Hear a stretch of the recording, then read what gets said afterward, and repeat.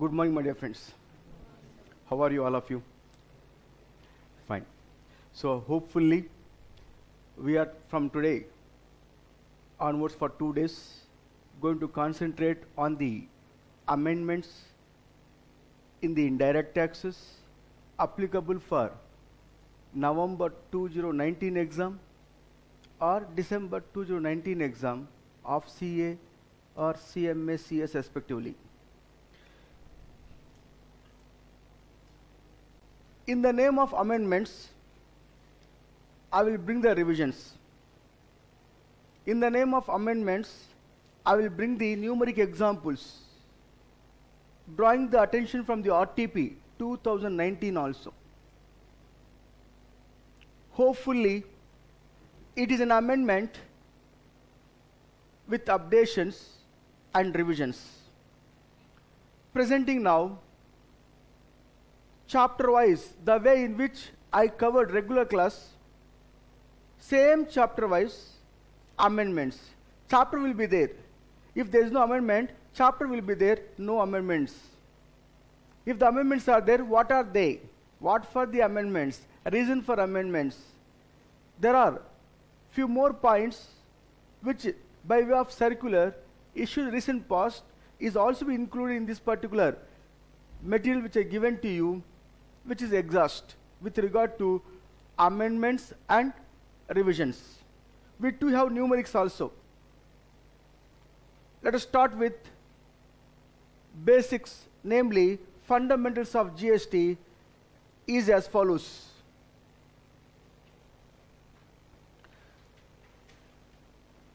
For the amendments applicable for the November examination or December examination 2019, referring as follows. In your page, I given to you fundamentals fundamentals of GST, page number one. My dear friends, we have certain definitions. The term business also be defined under section 2, subsection 17 of the CGST Act, where a concept called as totalizator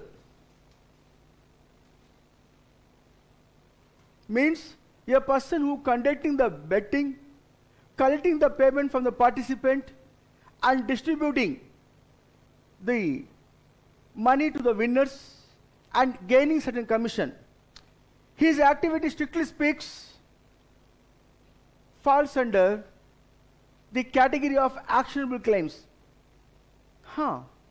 When you refer Schedule 3, point number 6, where supply excludes actionable claims except betting, gambling, lottery. There the need arises to give clarification. Thereby this section 2, section 17, business got amended to specifically incorporate totalizator who may carry out the actionable claim activities also business in the hands of totalizator will attract the GST because this particular actionable claims in the name of race club or in the name of a totalizator this fellow is totalizator collecting the payment from the participants and distributing the money to the winners and gaining the commission. That will attract GST. To, by giving the clarification, they mentioned here activities of a race club, including by way of totalizator, totalizator, or a license to book a bookmaker, or activities of licensed bookmaker in such club his activities cannot be excluded from supply. Liable for GST. I have a doubt here. If liable to pay GST for a bookmaker, totalizator, is a supply of goods, supply of services. Supply of goods for information. Reason Section 2, subsection 52 of the CGST, which defines the term goods under the CGST Act. Am I right or not?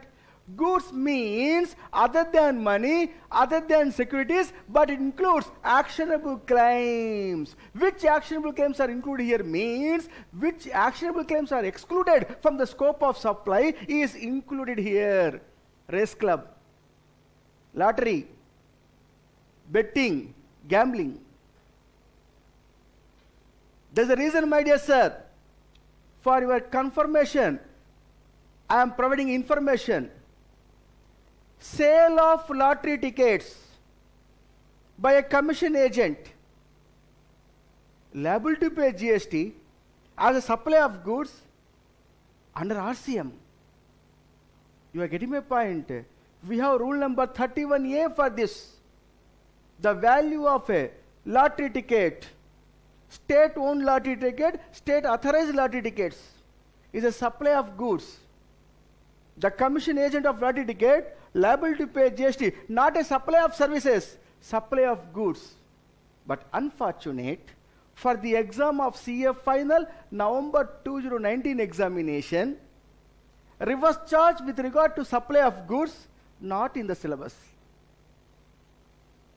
That's a different issue but is well within the syllabus of CMA and CS. Is clear as Further referring to you, my dear friends, amendment with regard to further. Section 2 subsection 1 or 2 service. Service also be got amended here by way of adding to the service by way of explanation. An explanation from the 1st February 2019 has been injected which says that service includes facilitating arranging of uh, transactions in securities. Uh, transaction in securities absolutely not taxable. However, facilitating or arranging services in relation to securities will attract GST. What do you mean by facilitating or arranging of transactions in relation to securities? Sale of securities not taxable, sir. Dealing with the sales of dealing with the securities not taxable. Then what is taxable means transactions facilitating to sell the securities, buy the securities, like stockbroker of a stock exchange Listen to me, you will get it now. Stockbroker of a stock exchange will attract GST, Brokerage Commission, supply of services. Like that, where you dealt the stock exchange transactions in a stock market, BSE, NSE, like that. These stock market securities transactions, see, BSE wala, Bombay Stock Exchange, provided the particular infrastructure to stockbroker to deal with that, collecting the rent, taxable or not? Eh? Well taxable. That means to say that facilitating or arranging in dealing with securities will attract GST, resulting that stock market services will attract GST, namely stock exchange services NSC, BSC will attract this uh, GST. Their documentation charges, their processing fees, their rental charges, that charges, this charges, all are facilitating to sale of securities or buying of securities. Will attract GST. Now what about regulator? SEBI. Regulator stock market regulated by SEBI, Security Exchange Board of India. Their services, because they are permitting to the stockbrokers by providing the license and all, and collecting the fees. In that case, are they liable to pay GST? For them, specific exemption we have under the notification number 12 slash 2017 of central tax, where security market services, SEBI services, namely s- regulator services in relation to development of security market absolutely qualify from exemption. Repeating, securities market, BSc, NSC attract GST, whereas the regulator of securities market, SEBI, services specifically exempted if it is in relation to promotion of securities market in India. The entire thing I am presenting in front of you, look and understand. Look here. Stockbroker facilitating in dealing with securities. Taxable or exempted? Taxable. Stockbroker, taxable. Then investors who are dealing with the securities, are they liable to pay GST? Absolutely not, because security is neither goods nor services. Therefore, not liable to pay GST. Whereas stock exchanges, stock houses, absolutely liable to pay GST. SEBI, regulator, are they liable to pay GST? Regulators are not liable to pay GST for them. Specific exemption granted under the central tax as well as integrated tax. Therefore, qualify from exemption. Ah. I have certain doubts furthermore here. Need to be clarified because my class amendments, in the name of amendments, I will take up revision also. Now tell me, my dear friends, they are coming under the category of NBFC. A broad holistic group it is. Banking company, non-banking company and all, a big sector in fact. Now, I have a doubt here. Dealing with interest rate swaps, foreign currency swaps, is it taxable supply or not taxable supply? Not taxable supply. Reason interest rate swap, currency swaps, these are coming under the derivative market. Derivative market derived from security market. As a whole, security is not taxable. Is clear, sir? Then, in that case, one step ahead. If you take the mutual fund companies, they are charging exit load. When you purchase mutual fund units, maybe for debt fund, equity fund, balance fund, namely debt equity fund, as the case may be, there is no entry load. Because SEBI said, entry load should not be charged. But exit load can be charged. Exit load charged by the fund manager when you sell off the units and retain certain commission, that particular exit load is taxable supply or exempted. Perfectly correct. It is a taxable supply. The GST Council very clearly said when you are going to be reimbursed this pre-launching expenditure of the fund in the name of a exit load, once the pre-launching fund expenditure fully recovered as per the SEBI norm, mutual fund asset manager should not be charged exit load. The fund free from exit load, resulting that its NAV, net asset value will go up. That benefit deriving by you, Mr. Mutual Fund Company. Therefore, exit load cut by you, liable for GST. Exit load of a mutual fund will attract GST. One step ahead, uh, furthermore, going for revision purpose from here. Basics. Sir, interest on short-term loan, interest on long-term loan, or bill discounting discount part, taxable or exempted. Entry number 27 of the notification number 12 slash 2017 of the central tax. Fine. Now tell me, interest on gold loan by a banker, collected by a banker, that interest under the GST? interest on gold loan. Hmm. Attract the GST? Absolutely attract the GST set by the GST Council upon the recommendation of its CBIC issued a circular.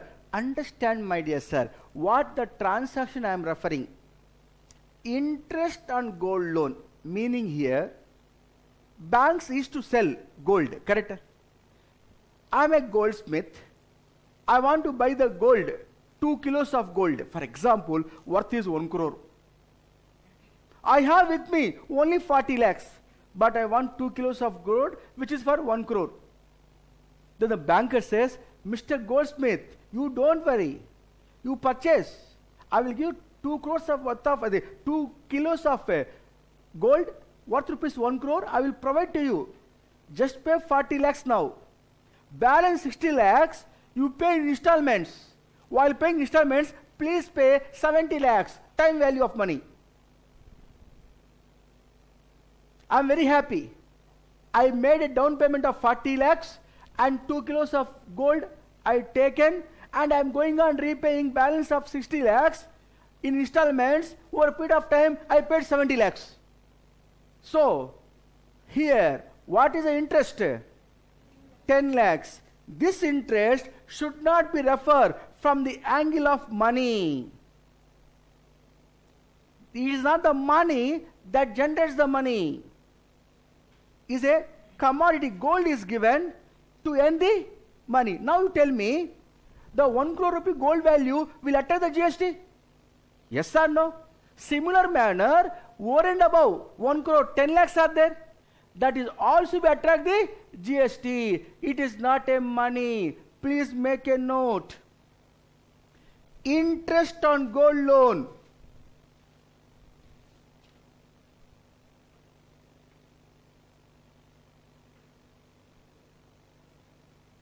will attract GST. Underline it. Interest on gold loan will attract the GST. Underline it. There down, write down. Down the write down. Interest on gold loan attract the GST. Under that, write down. Banker selling the gold on credit basis on credit basis and collecting. Interest thereon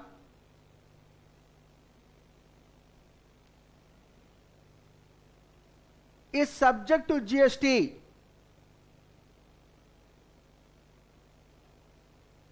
Come, as per the clarification of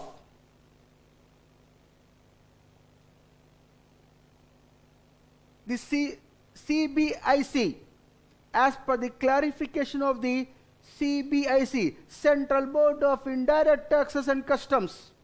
Now got the clarity? Further, my dear friends, now I am going to bring a mind-blowing point to you.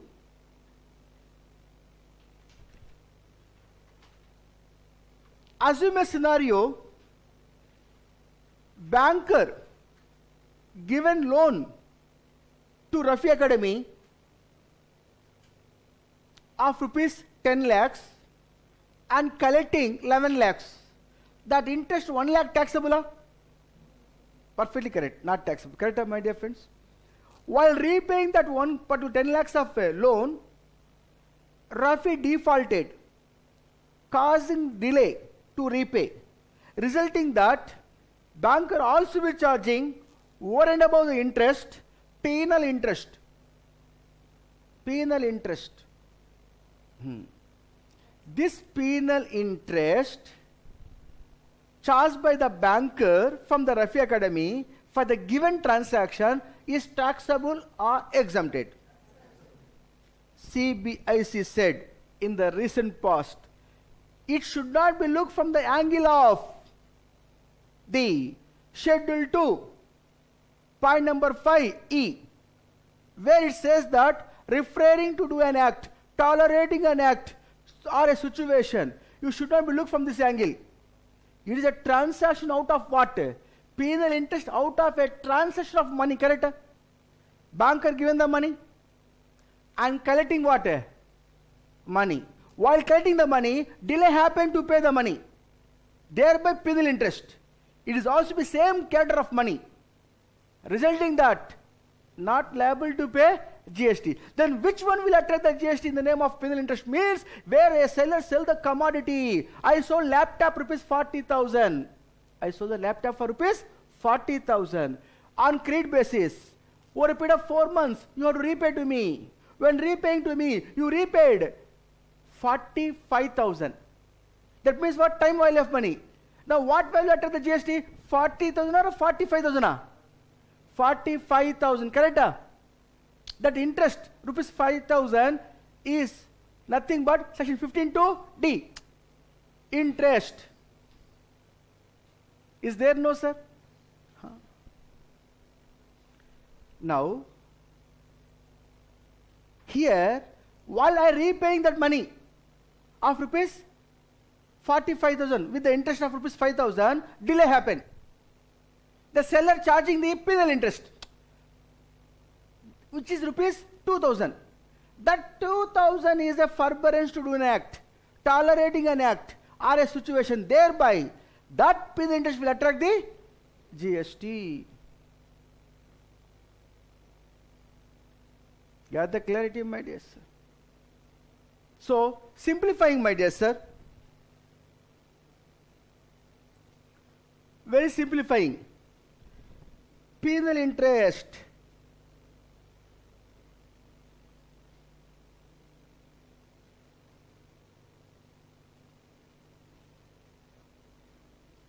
When you talk about penal interest, simple, two parts.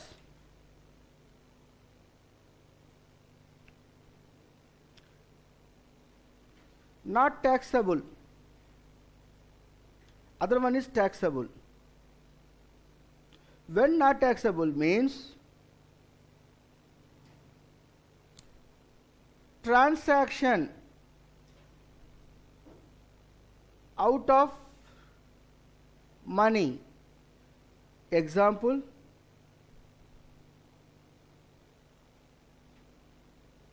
loan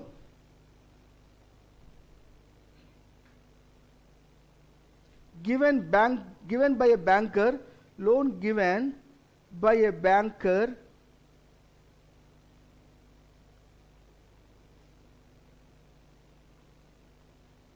and collected delay in payment. That case not taxable on the other hand when it is taxable means here taxability.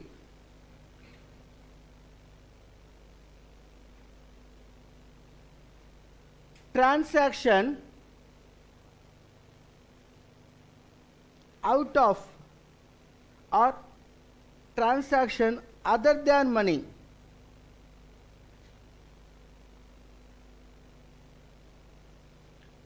other than money. Meaning thereby example seller of laptops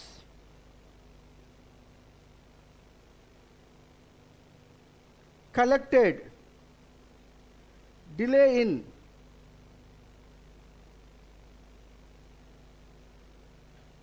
payment charges in that case the delay in payment charges will attract the GST.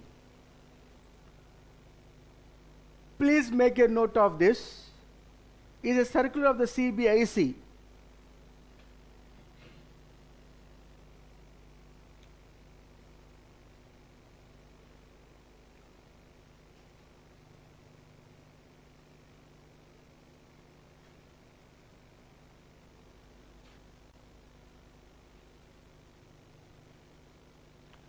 Further refined to you, my dear sir.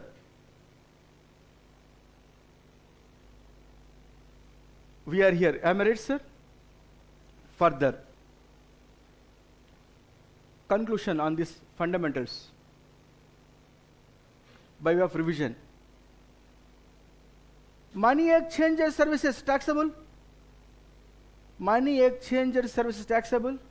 Service includes money exchanger services. One form of currency converting another form of currency and in the commission taxable. Correct? Good. If that is the case, tell me, my dear friends, if money exchanger services are taxable services, when qualify from exemption? Money exchanger, one service qualify from exemption. One, a money exchanger dealt with another money exchanger. Two of them authorized license holders from Reserve Bank of India. Transaction between two money exchanges are exempted. Then when taxable? When they are dealt with the general public taxable. At the same time, quickly tell me, in that case, if taxable, are they eligible to pay the GST under the valuation rules? Rule number 32, sub rule number 2, class B is there. Up to 1 lakh rupee, what percentage is equal value of tax of supply? 1%. 1 lakh to 10 lakhs, what percentage is 0.5%. About 10, 10 lakhs, without upper limit, 0.1%. Minimum per transaction, 250. Maximum per transaction, 60,000. This and all has the merit in your multiple choice questions. Now, for clarification, I want to provide to you the recent past the institute has been issued a circular stating that from November 2019 examination of CA final exams are considered, I will ask multiple choice questions like a comprehensive study. Are you aware of this? I will give you a big particular story I will provide. In that multiple choice question, three or four questions are there. Each question has ABCD, ABCD, ABCD. That means you have to study that particular case and identify which is the right answer in the given questions. And while answering, my dear sir, do not reproduce entire answers here. If multiple choice question, question number one, A. A, small 1, small 2, small b, small 3. Like that 3 are there means small 1, A, B, C, D. If A is answer means A only you mention. Not required to reproduce the entire thing. If answer is a C is correct means correct question number you mention, then say C. That's all. Do not reproduce the entire thing further. Because it is the pattern of the RTP. Revision test paper the same manner they given. Answers, they give the revision test paper how to answer the multiple choice questions. Many of the students are going to write, if a C answer correct means C has a para. Para reproducing question paper what is there, what is going to be reproduced again in the answer sheet, no use. Time waste only. I am not saying incorrect, but time waste. Time management very important in the exam point of view. Is clearer? Now come back. Further, my dear friends, referring to you here, from here further, continuation. I am now referring to you supply supply. Supply.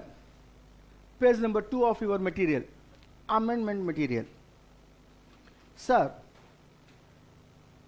a quick recapitulation first and foremost. Supply includes 7 A, B, and C. Thereafter, 7 capital A. Is clear? What is 7 A? all form of supply of goods services or both such as sale, transfer, barter, exchange, license, lease, rental or disposal for consideration in the course or furtherance of business. If not 7.1b, import of services for consideration whether or not in the course of business.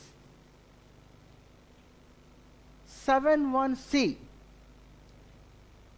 supply of goods, supply of services, even without consideration is a supply named as deemed supply if it is incorporated under Schedule 1 of the CGST Act. Here there is an amendment. Here there is an amendment. When you refer Schedule 1 of the CGST Act, import of the particular supply even without consideration is called deemed supply. There are four transactions are there. Quickly recapitulate the four transactions. One, first point, permanent disposal of business assets on which input tax credit has been availed. Two, supply of goods, supply of services or both between related parties or between distinct persons as referred under section 25 of the CGST or provided that where the employer provided gift to employee in a financial year not exceeding rupees 50,000 which is not a supply. Further, 3. Supply of goods by the principal to his agent where the agent undertaken to supply the goods on behalf of the principal or where supply of goods by the agent to his principal where the agent undertaken to receive the goods on behalf of the principal. Up to this no problem. Point number 4. Import of services was earlier by a taxable person. Taxable person, they now renamed as person. That is the amendment. Have it taken place? As follows. Look on the screen. Fourth point. The term taxable person was there. What do you mean by taxable person? Taxable person means the person liable for registration or the person got registered. Is clear? Now, they omitted the term taxable.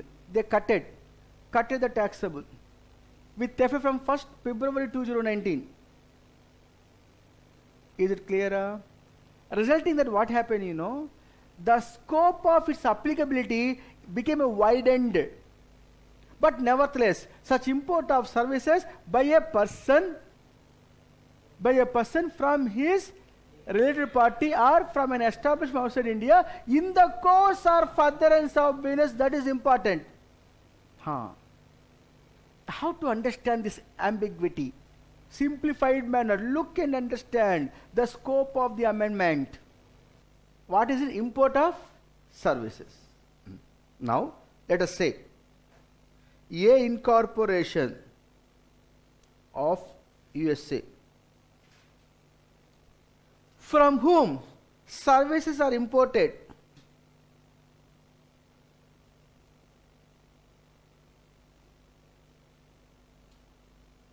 By whom? By S limited of Secunderabad, namely look at where? In India.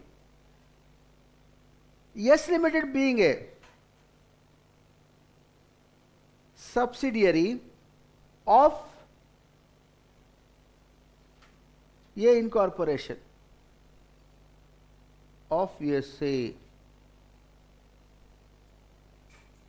Now tell me, are they, are they related parties or not? Since it is a holding company and S is a subsidiary company, we call them related parties.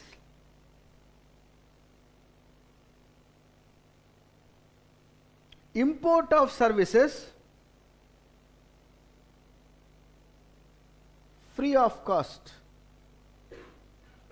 Now you tell me import of services free of cost. In India, S Limited says, S Limited says, I am unregistered person.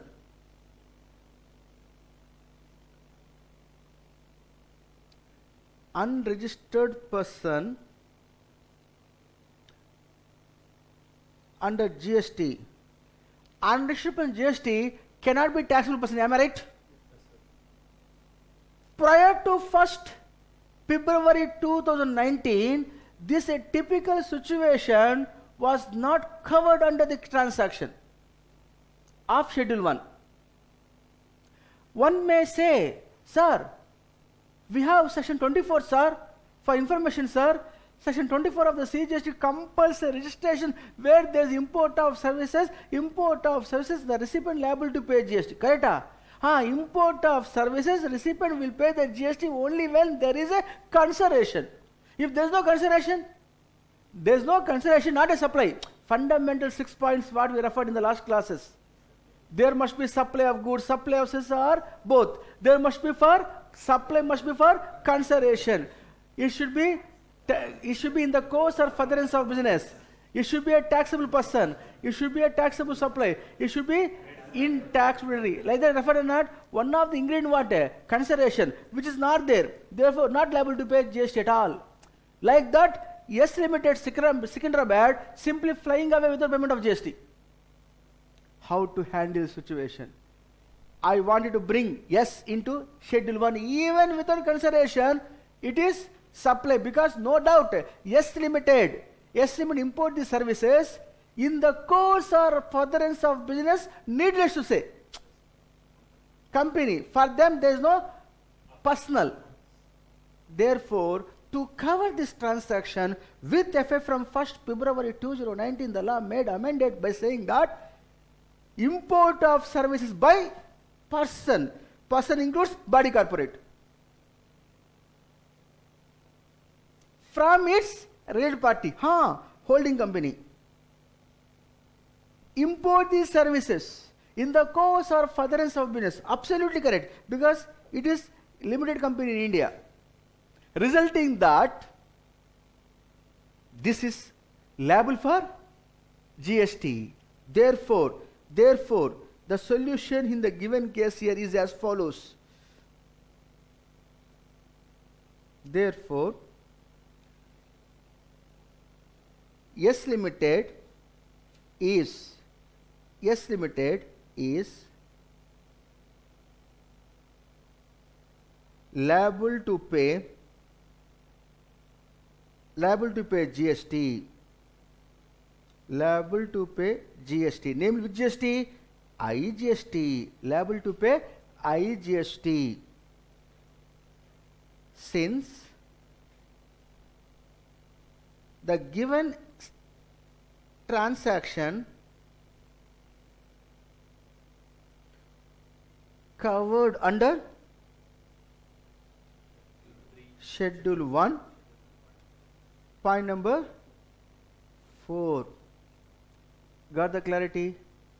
Schedule 1 point number 4 it covered. It is the key point here to note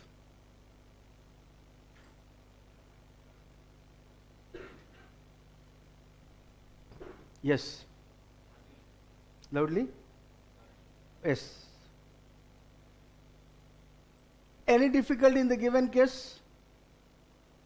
Now, by doing this amendment, there is one more problem also arises. Sir, I am individual, sir. Who am I? Individual, sir. Imported services from other person, sir. My elder brother, sir. Where? Outside India, sir. What type of service imported? Interior decorating is imported, sir. In that case, whether is it covered under this particular point number 1 schedule 1 point number 4 or not a question mark which now I am presenting with some elaborate explanation. Need understanding here. Now listen sir. Now listen in the given case. Now I am elaborating here with pinpointing of various issues and concluding landing perfect manner. One by one is as follows. Look here india. I am addressing which issue? Schedule 1 point number 4 import of services by a person from his related parties or from an establishment outside India in the course or furtherance of business. Correct? Here, what was the drafting in the institute material especially and what is the last speaks, it should have to have clarification by comparison and the institute subsequently came out, CA Institute, by saying that yes, yes, in this given scenario, what I mentioned in the material is not correct. What now I am presenting by way of a amended issue by way of a the appendix is a right issue. Like that, they have been taken the, stand by right approach manner. First, what happened, I will tell you. In India, in the given case, one Mr. Lakshman, I am Mr. Lakshman. I am an unregistered person GST. So, person is clear. Person includes individual. We have definition. Person includes individual. Huh. Lakshman is a person. Import these services from USA. From whom imported? From whom imported? From Mr. Ram, who is a own elder brother. My brother is Ram, from whom I imported services. What type of service imported? Interior decorating services. Listen carefully. How the law moved transactions into different directions. Import of interior decorating services, which are taxable services, without consideration, huh, important point, without consideration from his elder brother Ram. Now, import of service, sir? Correct. Now, Lakshman says, whether I am liable to pay GST, whether I covered under Schedule 1, point number 4, a question mark. You are the auditor, analyzing, fine. In that case, are there aid parties? Question it. No. Are there aid parties? No. Fine. Are they imported in the course or furtherance of business? There are two possibilities. It may be for the furtherance or it may be not in the course or furtherance of business. Assume a scenario for the given decision making table in the course or furtherance of business, if it is no answer, then not covered under Schedule 1. Point number 4. What is not covered Schedule 1? Point number, or all the four points. What is not covered in Schedule 1? Where there is no consideration, not a supply. Resulting that no GST. No supply, no GST. Is it clear? Any difficulty, my dear sir? Huh, it is import of service by Lakshman. It is his business purpose. He has an office at Mount Road, Chennai, Tamil Nadu. Therefore, he imported services from his elder brother free of cost for his business purpose. Yes. In that case, in that case, in the institute material, it was drafted by saying that are they related parties? If so, they are related parties only. Therefore, it is covered under Schedule 1, point number 4. Brothers, no. Brother, sister, father, mother, like that they got impression. They said, and for them import is import liable to pay GST is import of services even without consideration liable for GST. Like that, institute has been drafted a particular point. Covered under Schedule 1, point number 4, Lakshman has to register under the GST compulsorily under section 24 of the CGST. Further, Lakshman is liable to pay GST, namely IGST, under reverse charge as per section 5.3 of the IGST Act. Now the question arises here is, are they related parties? A question mark. What do you mean by related parties? Section 2, subsection 49 of the CGST very clearly says that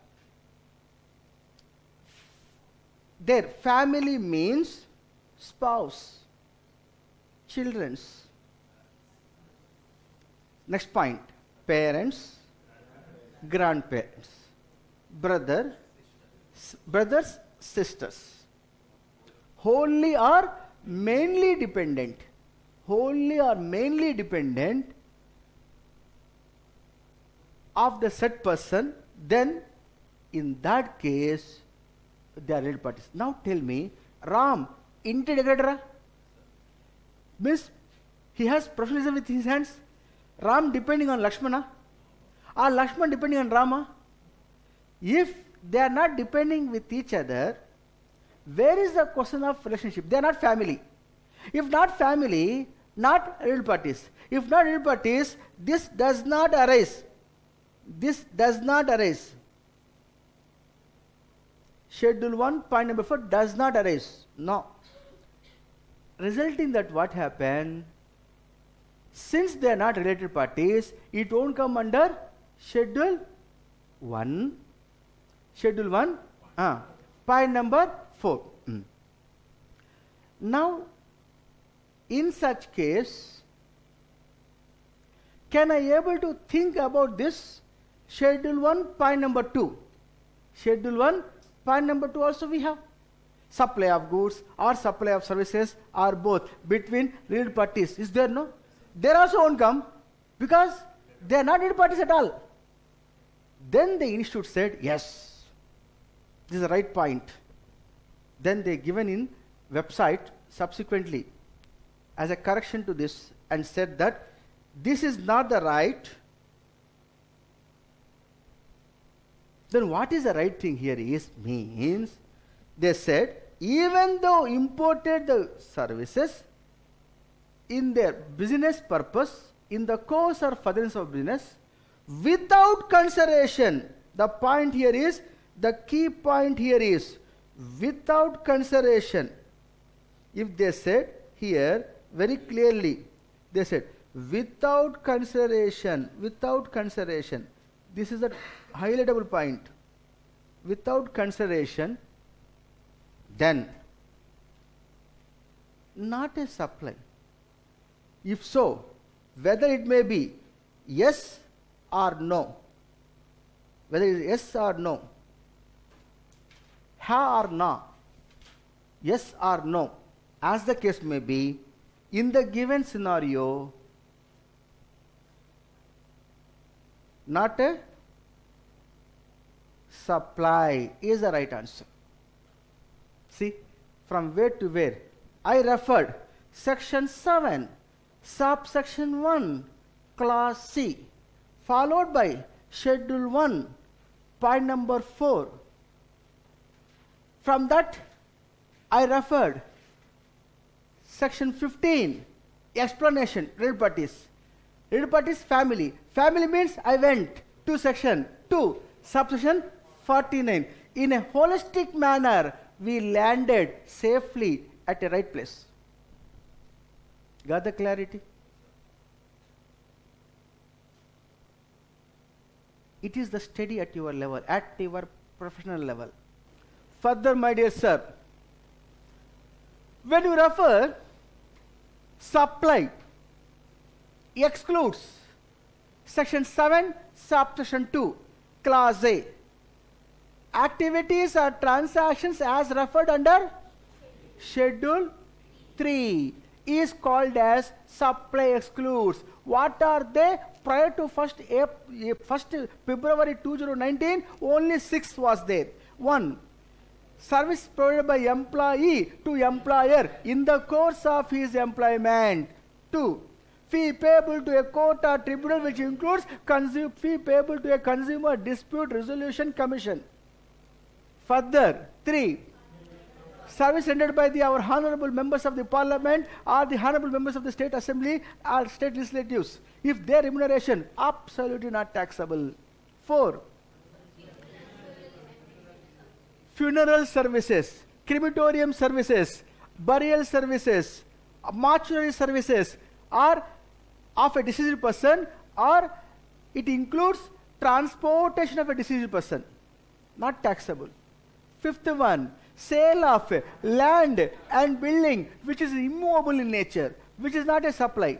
Sixth one, actionable claims other than betting, gambling, or lottery. Good. We have no amendment in these three six points in the schedule 3. Now what happened now my dear sir? They added here, careful listen, they add here two more points. Entry number 7 as well as entry number 8. Under 8 A is there, B is there. Entry number 7, what is it is? For sake of discussion, under this Finance Act, few entries has been made amended, resulting that amendment need to be referred. I will say after 6, this will be read as 7. After 7, this will be read as 8. Now listen to me. 7. Very important to note. Before understanding entry number 7, I would like to know from you place of supply from the IGST Act with regard to supply of goods. With regard to supply of goods. We have section 10, subsection 1, clause A, where there is a movement of the goods, place of supply is equal to where the movement terminated. Correct? How we do know that 10.1b of the IGST Act, place of supply in the case where bill to ship to model, tri-party agreement. Is clear? Fine. In the case of tri-party agreement, what is the place of supply? Where the third person located. Now, please come back. 10.1a only I want to refer here. Sir, before reading entry number 7, I will explain a situation, use the place of supply and say whether taxable or not. And such a taxation is not proper, unethical, re resulting that the government of India upon the recommendation of the GST Council they came out with the amended provision with effect from 1st February, 1st February 2019 onwards stated that such an unethical approach we are eliminated. So, before reading this particular provision, namely point number 7 of schedule 3, I am presenting here to you a simplified example. Please refer your page number 17. Referring to you point number 7 of schedule 3 with effect from 1st February 2019. Look on the screen. A USA buyer want to procure the goods from Indian supplier. Indian supplier receive the order. Should supply or not? But Indian supplier won't have that requisite quality of goods. Resulting that Indian supplier in turn approach to another company located in outside India, let us say Republic of China, one company, place the purchase, sir, I want so and so goods. Then the China fellow replied to Indian fellow, yes, the quite quality and quantity goods are available with us with so and so price. Then Indian person placed the order, sir, please bill to me, I want the goods, but one small request, ship to my buyer to US, called as bill to ship to model. Resulting that China fellow said, don't worry Indian fellow, I will supply the goods based on your request to USA fellow and I will bill to you, I will supply the goods to USA fellow. So goods has been sent to USA fellow. Now tell me, these goods came to India. Moving from where to where? From non-taxable territory, China, to non-taxable territory to US. Meaning thereby, Indian fellow only supply the goods from China to US without touching the Indian territory. In that case, this is not a supply for Indian supplier. Tomorrow, Indian supplier will raise the bill to US fellow or not? Indian supplier will see China fellow raise the bill to Indian buyer. Indian supplier will raise the bill to USA buyer. Correct? Is it export of goods? Ah? No. Export of goods means it should be as referred under section 2, section 5 of the IGST. Section 2, section 5 of the IGST speaks that export of goods means simple. Goods should be taken from India to a place outside India. Goods should be lifted from India to outside India. It happens so? No. Goods not gone from India to outside India. Therefore, not export of goods. Though the payment may be realized in the foreign currency. Now, it is called interstate supply. Prior to 1st February 2019, what was the law? Is the interstate supply liable to pay? IGST. Because it is not export of goods. To avoid that particular ambiguity, lawmaker made the right provision today from 1st February 19. If the goods are moving from non-TT to non-TT, not taxable in TT. TT means taxable territory. Is clear as as simple as this. Look here. Supply excludes supply from non-taxable territory to another non-taxable territory. Serial number 7 of the schedule 3. This is what schedule 3 point number 7 speaks. Supply of goods from a place in the non-taxable territory to another place in the non-taxable territory without such goods entering into India. Now got the clarity? Here I am bringing to a notice advanced concept here itself. It is premature to refer. In spite of that, you mature enough to understand. Having this concept, I am bringing to a notice. What about such a transaction in case of supply of services? Such a similar transaction, supplier of service. A comprehensive study I am referring now. Listen to me.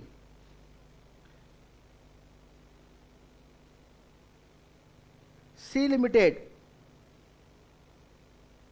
in India, in Chennai.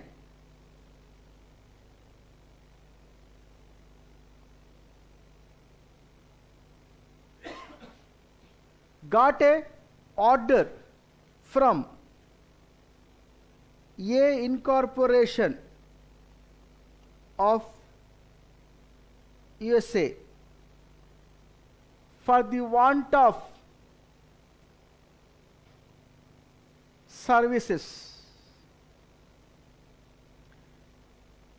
They agreed to pay, they agreed to supply services C Limited to A Incorporation. It is nothing but what a export of services. Now listen, if if C Limited provided services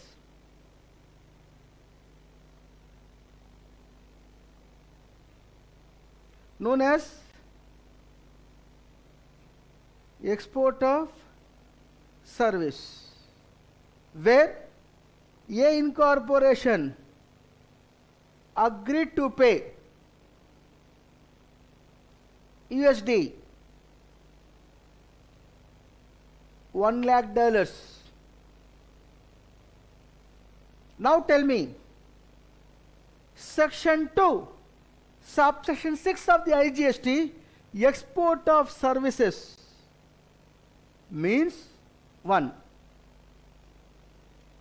Exporter should be in India. Importer should be outside India. Place of supply goes outside India. Payment should be realized in the foreign currency. And the exporter and the importer should not be related parties. Or should not be mere establishment outside India. Is clear? Is clear? Export of service. Now here what happened? Amendment taken place. Where amendment taken place?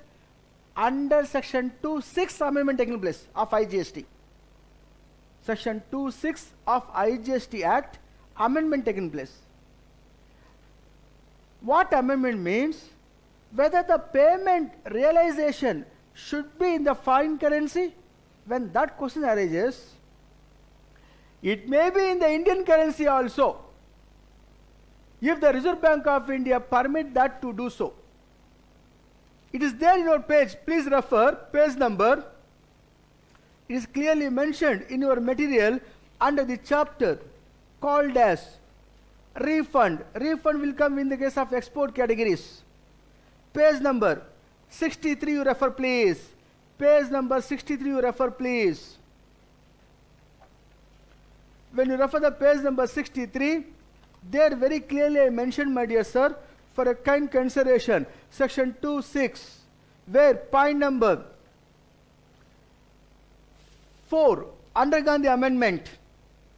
The payment of such service has been received by the supplier of service in convertible foreign exchange or in Indian rupees wherever permitted by the Reserve Bank of India. Is clear? Is clear?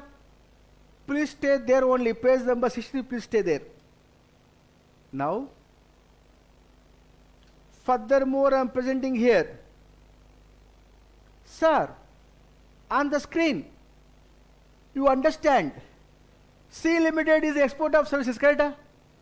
While providing such export of services, C Limited facing difficulty, unable to provide such a services expected by the A Incorporation of USA, resulting that they have not provided the services directly to them, for which for which C Limited approached a particular company called as S Limited, S Limited of Dash, Singapore, to provide such a services to A Incorporation directly. Now, services supplied. For doing so, bill issued estimated to whom? C Limited. Bill to bill to C Limited. Estimate Singapore bill to C Limited and supply the services to A Incorporation. You got the clarity? This is what advanced concept with the CBIC circular in this regard. There you know page number, page number 64, page number 64. The concept what I am presenting on the screen, there in your page number 64.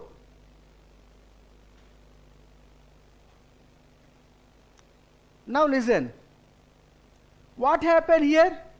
Here nothing but what? It is nothing but what, my dear sir? It is import of import of service. Correct? Ah? Import of service. And they are paying to S Limited, let us say USD $80,000 for doing so. In the given case, C Limited paid the payment to S Limited, import of service. If so, liability to pay dash. IGST. So, this attract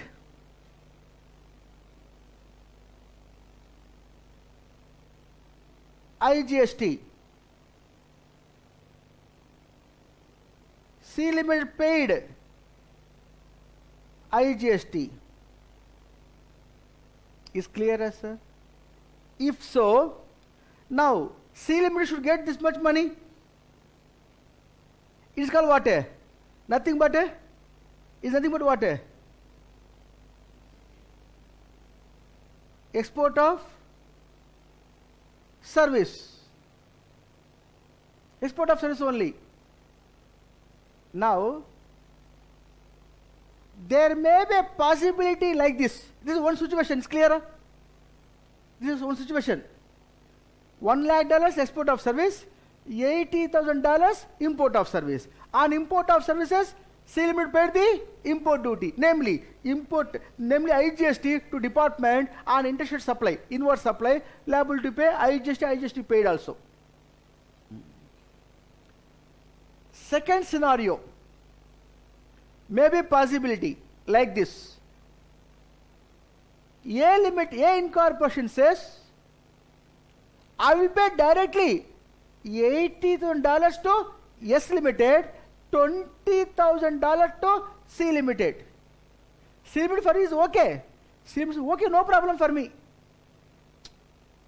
Thereby what happened, be careful. Here what happened, what happened here,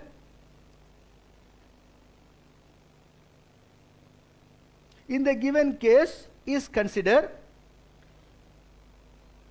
listen to me a incorporation paid to them 80000 dollars of usd and paid to c limited only $20000 of USD. 20,000 USD dollars. Now, in the given scenario, what is the export of services for C Limited? Means that circular of the CBIC, there you your page number 64. Speaks mind blowing point for C Limited, for C Limited, export of service is equal to 1 lakh US dollars only provided. C Limited going to pay IGST on that much of amount which is not received by C Limited, treating it as import of service and C Limited paid the IGST on USD $80,000. If that is the case, for C Limited is considered export of service is 1 lakh dollars.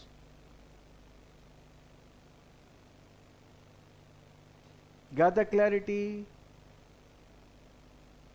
Sir, this second scenario is as equal to first scenario only. First scenario, what I said, C Limited directly got 1 lakh dollars from A Incorporation and paid to S of Singapore $18. That is called import of service, pay IGST. 1 lakh dollars export of service. Clear? Second scenario, if the C Limited in India received $20,000 from A Incorporation, where A Limited directly paid $80,000 to S Limited of Singapore, in that case, CBIC said it is as if import of services for C Limited worth $80,000. Who placed the order to S Limited? A Incorporation or C Limited? See, therefore, is import of service worth $80,000 and you have to pay IGST, paid off. If that is the case, exporter, C Limited, for you, sale proceeds export, though actually realized $20,000, we will treat it as 1 lakh dollars for export of services. Since you paid the IGST on $80,000 as import of services. Is a level playing field. You get my point, sir? Is a worthy to note. Actually, where we are? Supply.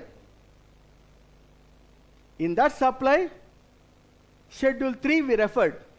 Supply excludes point number 7 under Schedule 3. Supply of goods from non-taxable territory to non-taxable territory, not taxable in taxable. There I said, it is advanced concept, premature to refer, but you are mature to un understand this. You are mature enough to understand this. That is the reason I brought your notice. If it is like that, no, services are exported from non-TT to non-TT.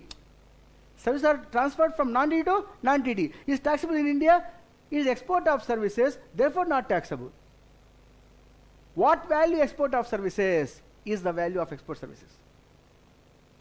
Got the clarity, sir? Any doubt? If you read that content, you will understand similar manner. Revision for you left to you at your option.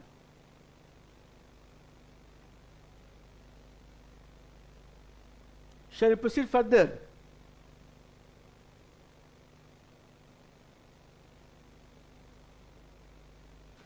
Schedule 3, point number 8, also amended one from 1st February 2019. Now come back to your page number. Page number 2. Page number 2. You come back to your page number 2 where it is clearly mentioned that the schedule 3, point number 8, supply of warehoused goods to any person before clearances for home consumption. Mm. Supply excludes supply of warehoused goods to any person before clearances for home consumption. My dear friends, you are aware of that. If the goods are imported by an importer, has the right to submit the yellow color bill of entry for warehousing the goods by following warehousing procedure. Once the goods are warehoused during the tenure of warehousing period, if I sold the goods to somebody else by transferring documents of title on the goods, namely bill of entry to somebody else, such a supply excluded from the supply, not liable to pay GST. How to understand this? A diagrammatic presentation on this. Refer the page number 4.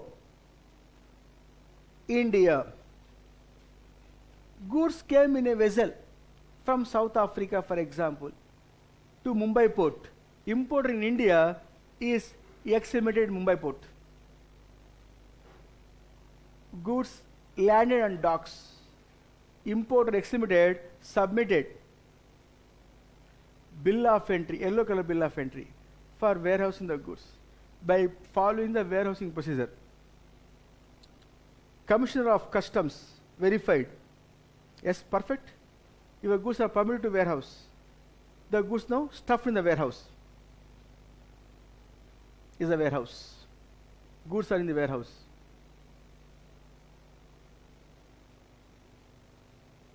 What type of goods are they? Duty levied but yet to pay.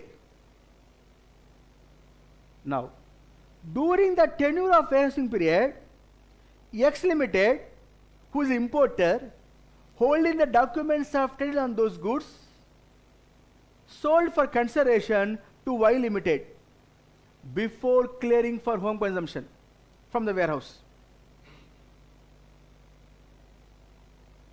Such a sale, not a supply, from 1st February 2019.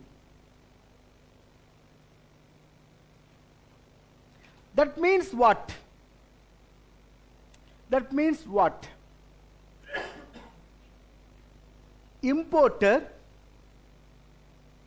namely now Y Limited, submitting the sub bill of entry, green color bill of entry, ex bond bill of entry to clear the goods by payment of custom duties. Only custom duties. What custom duties? As section as per section 12 of the Customs Act 1962, basic custom duty has to pay, on which social welfare surcharge has to pay, and as per section 3, sub section 7 of the Customs Tariff Act 1975 has to pay to compensate the IGST in India by way of IGST to Department of Custom, namely additional custom duty. Called what? IGST. To whom has to pay? To Department of Customs. Only once has to pay. And again, IGST not required to pay to Department of GST. In our regular study, can you remember? In our regular study, I said there are two GSTs, namely IGST.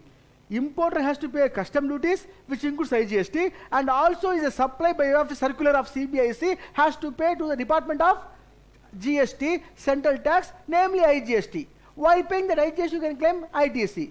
Why should be two times tax? Is an unethical approach or not? Such a circular of the CBIC, which was issued earlier to tax the GST under the GST law, now withdrawn, is an amendment. Where this amendment is there, please refer your page number. Please refer your page number 65. Referring to you, a new circular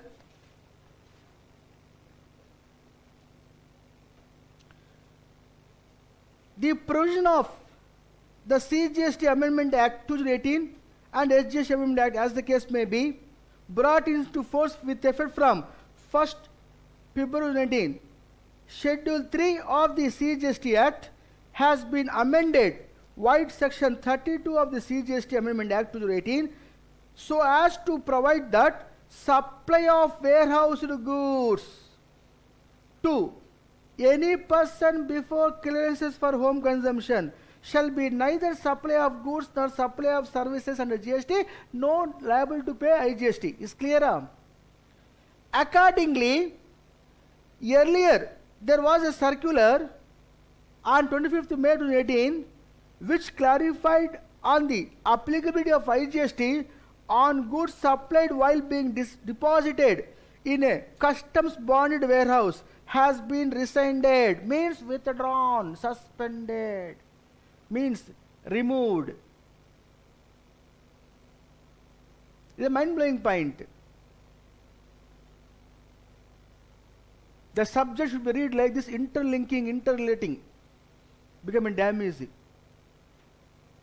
Is clear my dears that means no IGST under GST for the goods sold during the tenure of warehousing before clearance for home consumption. Come back to page number 2. Any doubt in entry number 8, schedule 3, A point? Entry number 3, A point. Any doubt, my dear sir? No doubt. Further continuation of this. Entry number 8 of schedule 3 in that sub point B, supply of goods by the consignee to any other person by endorsement of document of title to the goods after the goods have been dispatched from the port of origin located outside India but before clearances for home consumption. It is also be like no high sea sales. I have not sent the goods for warehousing. Before warehousing, before clearance for home consumption, the imported goods has been sold to somebody else. Also be not a supply in India. Not liable to pay IGST. Only pay GST once at the time of at the time of import clearances from the customs for home consumption pay to Department of Customs along with the BCD IGST only once as per the Customs Act. Of course, import of goods is interstate supply under GST, but GST cannot be levied on import of goods as per the Constitution of India, 101st Amendment. In the year 2016, you are aware of that? Import of service only attract the IGST. Import of goods, no IGST. Though it may be treated as dash, eh, interstate supply. Now, how to understand this point? With the visualization. Look on the screen, my dear friends. I am referring schedule 3, point number 8, in that sub point B. Look here. Goods came to Mumbai port. Assume a scenario. Goods are unloaded also on the docks, but importer yet to clear the goods from the docks for home consumption. During the tenure of goods are in the vessel or during the tenure of the goods on the docks, as the case may be, before clearance of home consumption, importer being examined in the given case transferred the documents of title on those goods to a particular newcomer.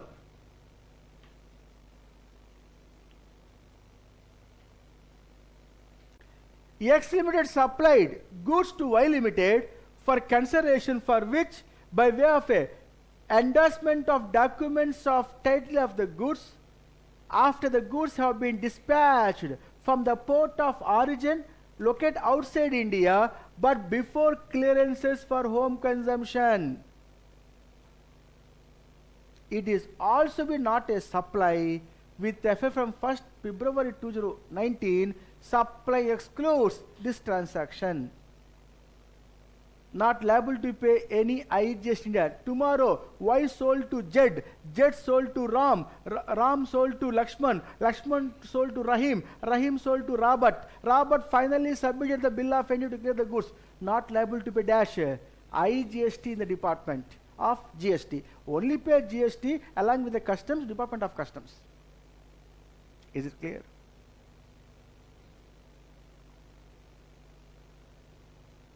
With this amendments with regard to supply also concluded. Now referring to you a concept called composite supply, mixed supply, where there are some amendments by way of a circulars, by way of clarifications, judicial interpretations taking into account presenting here as follows one by one from page number 6 onwards. My dear sir, could you please tell me what do you mean by composite supply? A quick recapitulation as per section 8 of the CGST Act, two or more supplies supplied which are interdependent, interrelated, which is provided in the ordinary course of business, one cannot be provided isolately. Mixed supply, two or more supplies clubbed together which is not necessary to supply in their ordinary course of business and supplied is called mixed supply. In the case of composite supply, taxation as per the principal supply. In the case of taxation, in the case of a mixed supply, among the supplies, highest rate is going to be attracted. Is clear? A quick recapitulation, my dear sir. Having this, further looking ahead. This point I referred in the regular class, again I am referring as a revision by giving the importance of the judicial interpretation. Appellate Authority for Advanced Ruling of West Bengal given the ruling in this given case. I am a supplier of two products. One is called UPS, other one is called external storage battery and both are connecting into each other and providing services like this thereby there won't be any power under interruption That means continuous power supply takes place. Power under power the interruption not going to take place. For which I purchase along with the UPS the external storage battery also. Being a seller, I supply these two together. Is a composite supply or a mixed supply? Assessee says composite supply, principal supply is the UPS, the rate applicable UPS applicable entire supply. Department said, sorry, it is a mixed supply, highest rate will attract for the entire supply. This matter disputed and went to the judiciary. Appellate authority for advance ruling. Ruling is given here by stating that it is a mixed supply. It cannot be called as the composite supply Uh, in the case of switching AVO Electro Power Limited case under GST law. For information and updation, Institute never stated case studies under GST not applicable in the exams. Nowhere stated. But they have not asked in the examination so far. Does not mean that it is excluded. Cases are there. If they ask, you have to answer that. Further, one circular, very simple. When there is a supply, I am providing in my service station water wash of your vehicles. Supply of service. While doing so, I notice that your vehicle, the battery is almost all in a uh, going to be wind up stage. That means the battery power almost all gone and it is condemned stage. Therefore, as a supplier of service, I asked sir, could you able to replace your battery? You said, okay, please proceed, sir. Then I replace the battery also for you. There are two supplies I made. Two are independent supplies. Two are supply identical values. It cannot be called composite supply. It cannot be called as mixed supply. For supply of service, I liable to pay GST the rate applicable for service accordingly. At the same time, the rate applicable for supply of goods, GST will attract separately. It cannot be called mixed supply. It cannot be called as a composite supply. Is it clear as a circular of the CBIC? Further, recent circular which has not been discussed in the class, in my regular class. Now I am presenting here. In your page number 7, there is, very often you come across free samples. Free samples, my dear friends.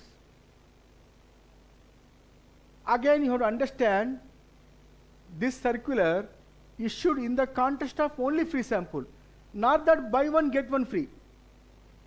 Buy one get one free, this circular not applicable.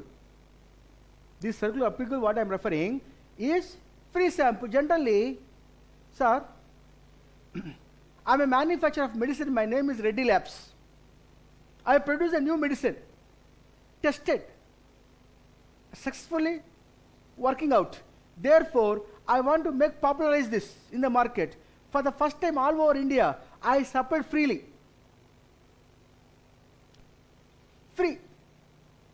Freely if I supply, am I liable to pay GST? Is there is any consideration? Question mark. Is there, a sir? If there is no consideration, why should I pay GST? Unless my supply covered under Schedule 1 categories. Therefore, the entire circular I am presenting in front of you, just look and understand as follows. Free sample. Like this. First question yourself. Covered under Schedule 1 of the CGST Act. If it is yes, even though without consideration, supply. For example, brothers, head office given to branch office free sample. Free, ah? It is liable for GST. You get my point, sir? That's the reason I am referring here. If it is yes, liable for GST. Huh. I will pay GST, sir. My inputs, which I produce free sample purpose, on which ITC, what I availed, is availed only, I won't be reverse. Repeating again, I supply free sample. My transaction covered under Schedule 1. Thereby I am paying the GST on my free sample. I am paying GST on my free sample.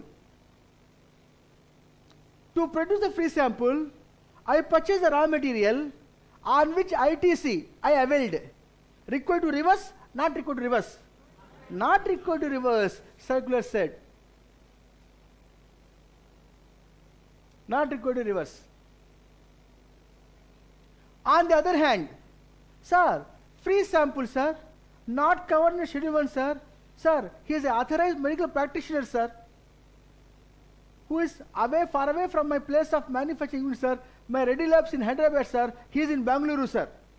He is a MBBS doctor, sir, authorized practitioner, sir, medical practitioner, running a clinic, sir. To them, I supply free sample, sir. Then in that case, not liable for GST, since there is no consideration, no GST. In that case only I am asking a doubt. The inputs which I use to produce that final product, which are given free of cost, and that free of cost not taxable under GST. If so, the inputs what I use for that, on which I avail the ITC. Now required to reverse, not required to reverse. Required to reverse. Because the block credit under section 17.5H of the CGST Act. Goods are given by way of gift, free sample, and all. GST on which credit not allowed. GST paid on such goods on inputs, ITC not allowed. If availed, you reverse or pay by electronic cash ledger. Is clear, my dear sir? Similar way, one more circular in the recent past by the CBIC issued, page number 8 you refer please. Page number 8 as follows. Look here. Buy one, get one free. If not buy one, take two free. Depends. Now what happened here?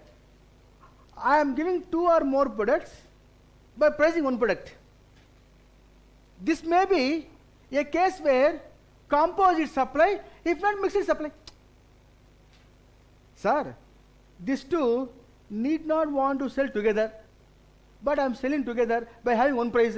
Buy one, get one free. Mixed supply.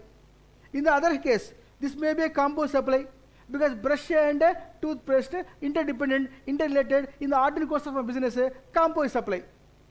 Now tell me, if I supplied buy one get one free offer, you have to question it may be mixed supply or composite supply. I am questioning. Covered under composite supply answer to the decision making table maybe yes maybe no. Huh i will say like this. Yes combo supply. I will pay the gst on principal supply. Is clear? Now i wanted to ask you. The goods which are given freely buy one get one what is given freely to produce that I already purchased the raw material on which GST I avail the ITC. Want me to require to reverse? I given buy one get one free. The freely what I given when you purchase one, I given another one freely. On that material already I paid GST and avail the ITC. Now required to reverse or not required to reverse? Not required to reverse. Perfectly correct terminology. Not required to reverse. Further, on the other hand, if the question is not a combo supply, what would be? Needless to say, mixed supply.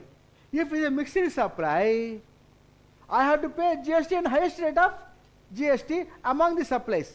If so, there are some supplies which are supplied on which input tax credit I already availed. You want me to reverse the credit? That means to say that, my dear sir, either way, there is no impact on GST on those raw material availed ITC.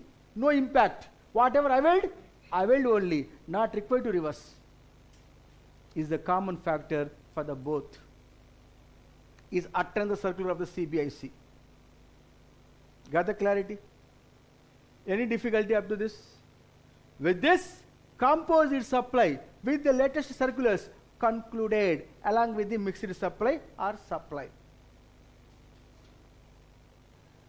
Referring to you, the levy and collection. Listen to me. A quick recapitulation on this. Levy by department on supplier 9.1 CGST forward charge. Levy on recipient 9.3 reverse charge. Levy on recipient being a registered person procure the goods or service by registered person 9.4 reverse charge. Levy on a third person who is neither supplier, who is not a recipient, but some other person liable to pay GST. 9.5. There are three cases. One, radio taxi. Two, the short-term accommodation unregistered person supply his services through e-commerce operator. Third one, unregistered housekeeping service provider provide these services through e-commerce operator. E-commerce operator liable to pay GST. 9.5. Section 9, Section 5 of the CGST. 9.2 of the CGST yet to levy the GST on petroleum product, high speed diesel oil, aviation turbine fuel, like that. Now here, what is the amendment means? Section 9 3 got amended. Many amendments are there. I will take up under the chapter called reverse charge. For the time being levy and collection is considered, a new levy has been brought under section 9.4 stating that a registered person procure the goods or services from unregistered person liable to pay GST by registered person set by GST Council and notified this provision from 1st February 19. But for whom it is applicable is very clearly mentioned from 1st April 2019. Is it clear, sir? When applicable means, look here. In your page number 10, page number 10. Be careful, listen. There is a provision from 1st April 2019 followed by the diagrammatic presentation. Before understanding diagrammatic presentation, I am just presenting a simple terminology manner, a diagrammatic approach. This provision I am now referring to you in a simplified manner. Look here, sir. X Limited being a promoter or a builder or a builder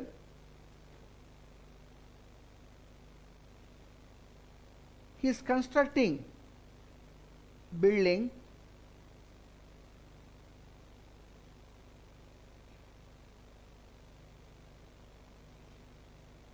it is a construction service where land value included. Is clear my dear sir? Now this builder or promoter were constructing procured raw materials namely inputs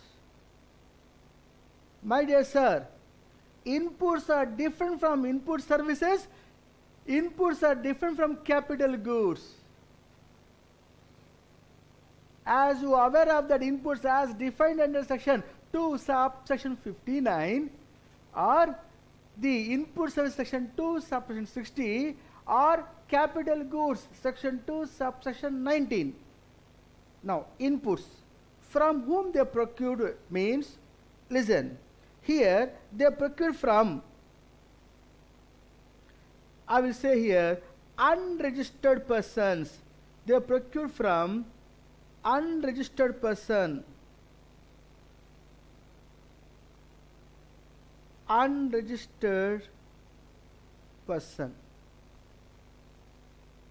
Listen to me. Further, they too procured goods, namely capital goods, from whom they purchased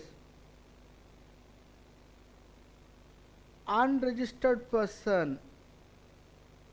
Further, they too received input services, services from whom? From unregistered person. If they did so, here simplified manner presenting Mr. This fellow is a they are the suppliers sir. supplier they are the suppliers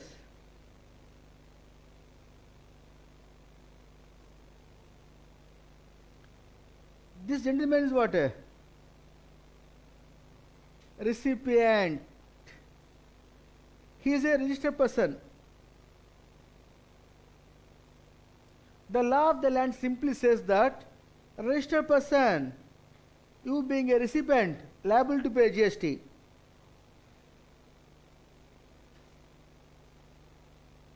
Promoter or builder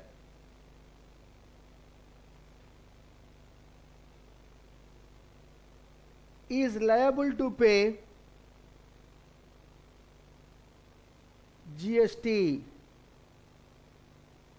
under section 94 of CGST or otherwise 5 4 of IGST. Huh, is a layman approach, but it has powerful concept. Section 9.4, if and if today with effect from 1st April 2019 is applicable only when, when a particular recipient is a registered person being a promoter or a builder received the goods or services from unregistered person only applies. Do not apply this 9.4 section to a case where Rafi Academy, registered person GST received the services from unregistered person from a plumber, purchased the goods from unregistered person, and Rafi Academy being responsible to pay GST. Don't say, I am not a builder. Understand this, sir? This provision is applicable only for the given scenario. Huh. There are certain points are there. Deeper manner to explain this, I will explain in due course. Is clear, sir? And they said here now, little bit clarity. This particular services should be other than it should be other than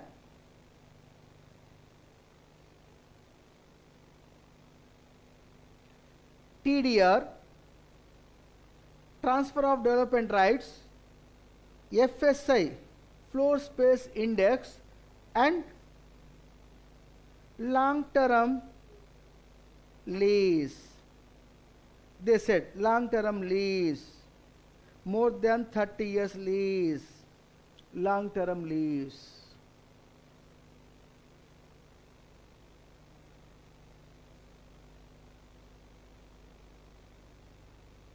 Got the clarity my dear friends?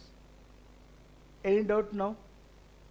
Now the same thing if it is if it is FSI if it is TDR if it is long term lease supply the unregistered person to a builder. What happened simple exemption. When exemption applicable exemption applicable only when a promoter a builder going to pay the tax on this construction. Promoter or builder promoter or builder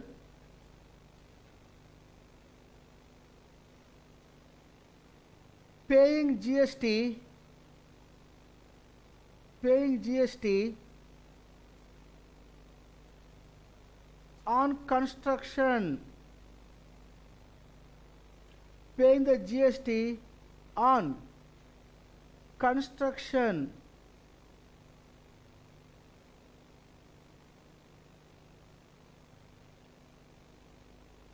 service.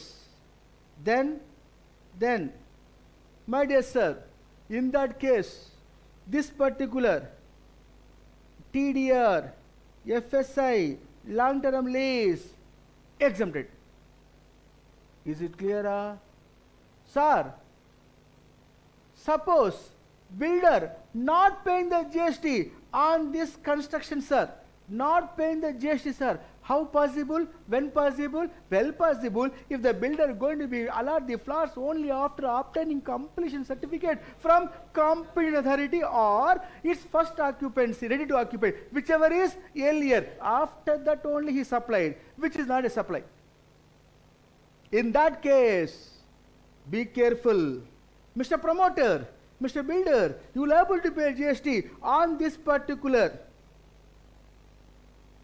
supply on this particular supply, TDR, FSI, long-term lease, builder only liable to pay being a recipient under section 9.3 of the CGST. Gather clarity? Look to me now, you understand. Look to me, you understand. Builder, I'm a builder, Rishabh person. While promoting your land, you transferred to me TDR. I'm going to pay something to you. You are a supplier, Anisha person. I'm a recipient, Anisha person. That supply exempted from GST from 1st April to 19, provided this builder by developing your land, he is going to pay GST on the construction service. No, sir. I am allotting the flats only after obtaining completion certificate or its first occupancy, whichever is earlier. After that only I am allotting, sir.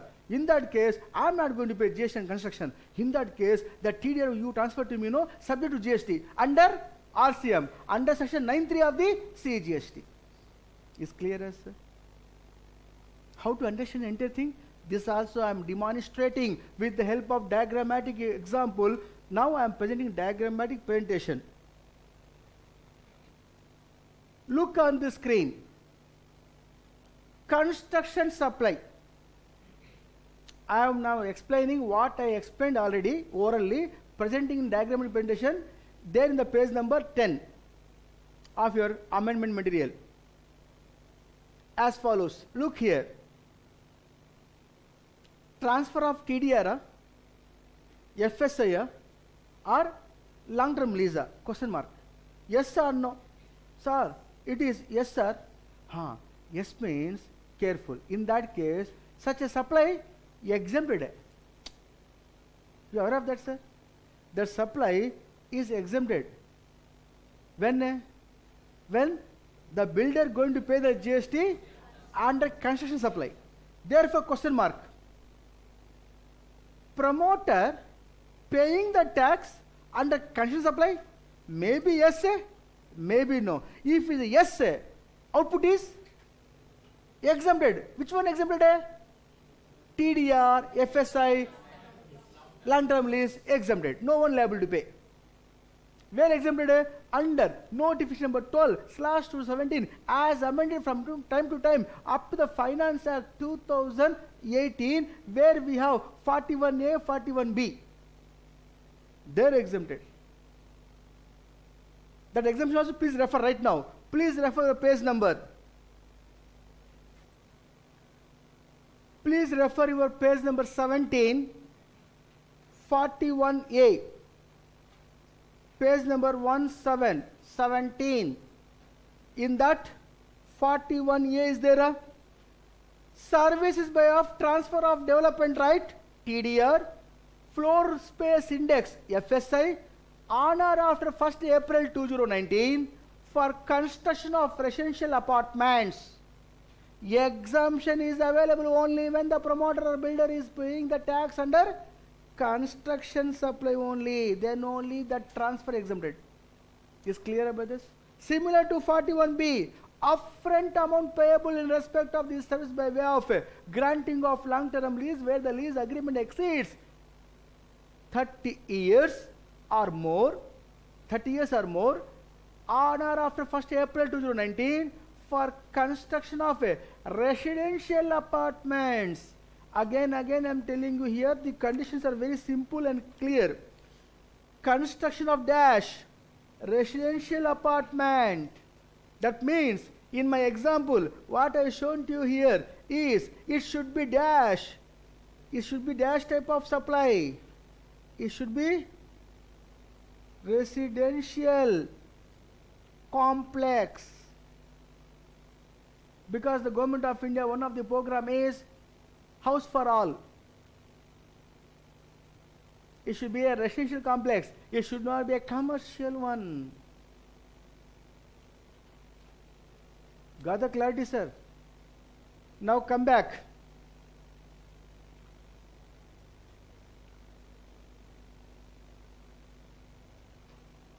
We are here. Yes now got the clarity, sir? Now please come back to our slide. Diagrammatic presentation. Where up to this character, sir? Further, if promoter paying the tax and the construction supply, answer to that question is no, then what happened? Such a transfer of TDR, such a transfer of uh, the FSI, long-term lease 30 years and above, will attract GST. Under RCM under section 93 or 94 or 93 will the promoter liable to pay GST. Excellent.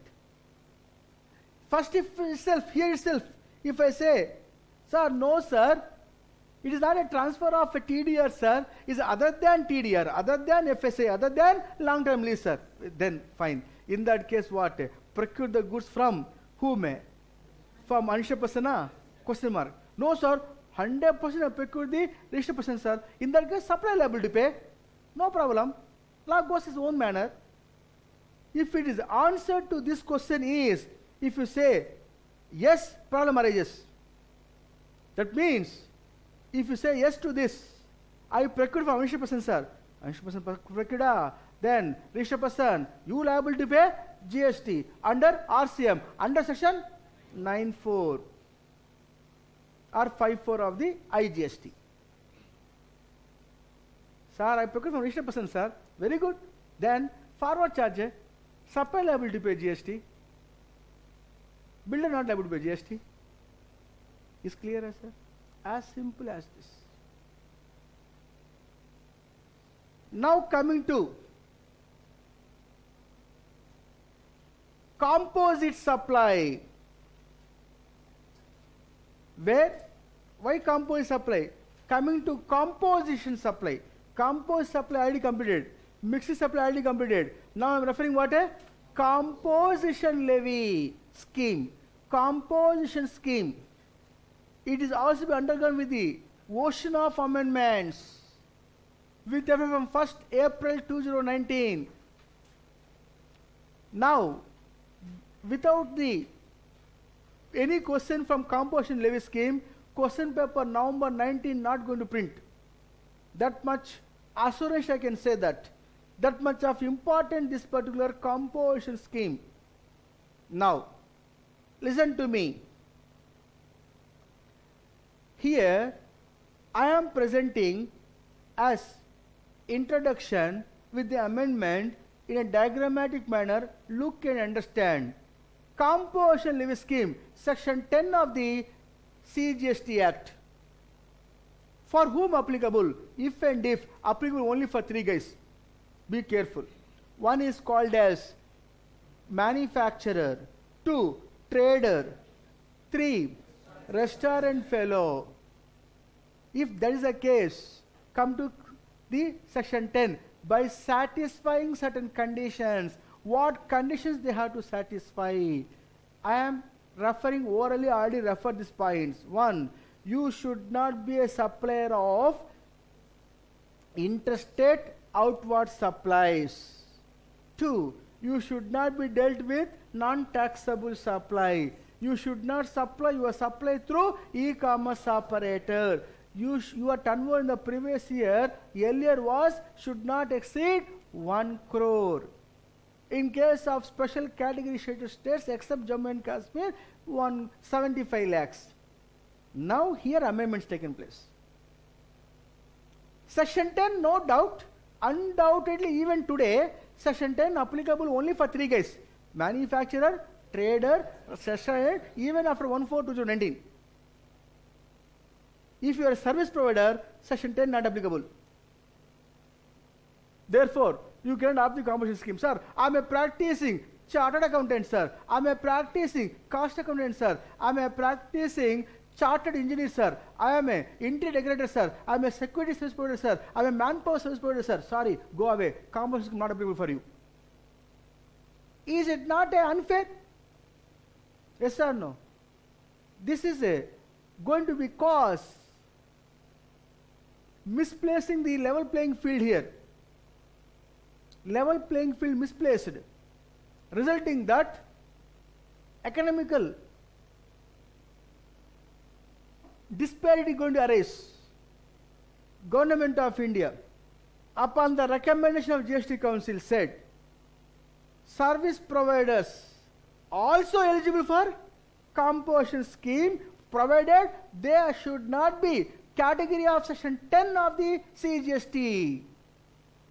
For them specific notification issued, notification number 2 slash 2019 with effect from 1st April 2019, a service provider who is other than section 10 category also can go for composition scheme benefit. There is a different story, I will explain to you in due course.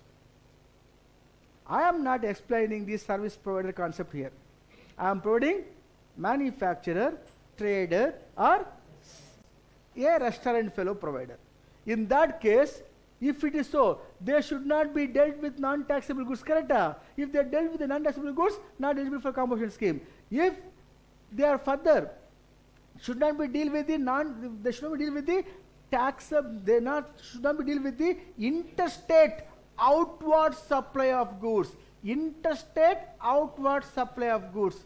Interstate outward supply of goods if you made, then you are liable to pay what? IGST then you debarred from the composition scheme.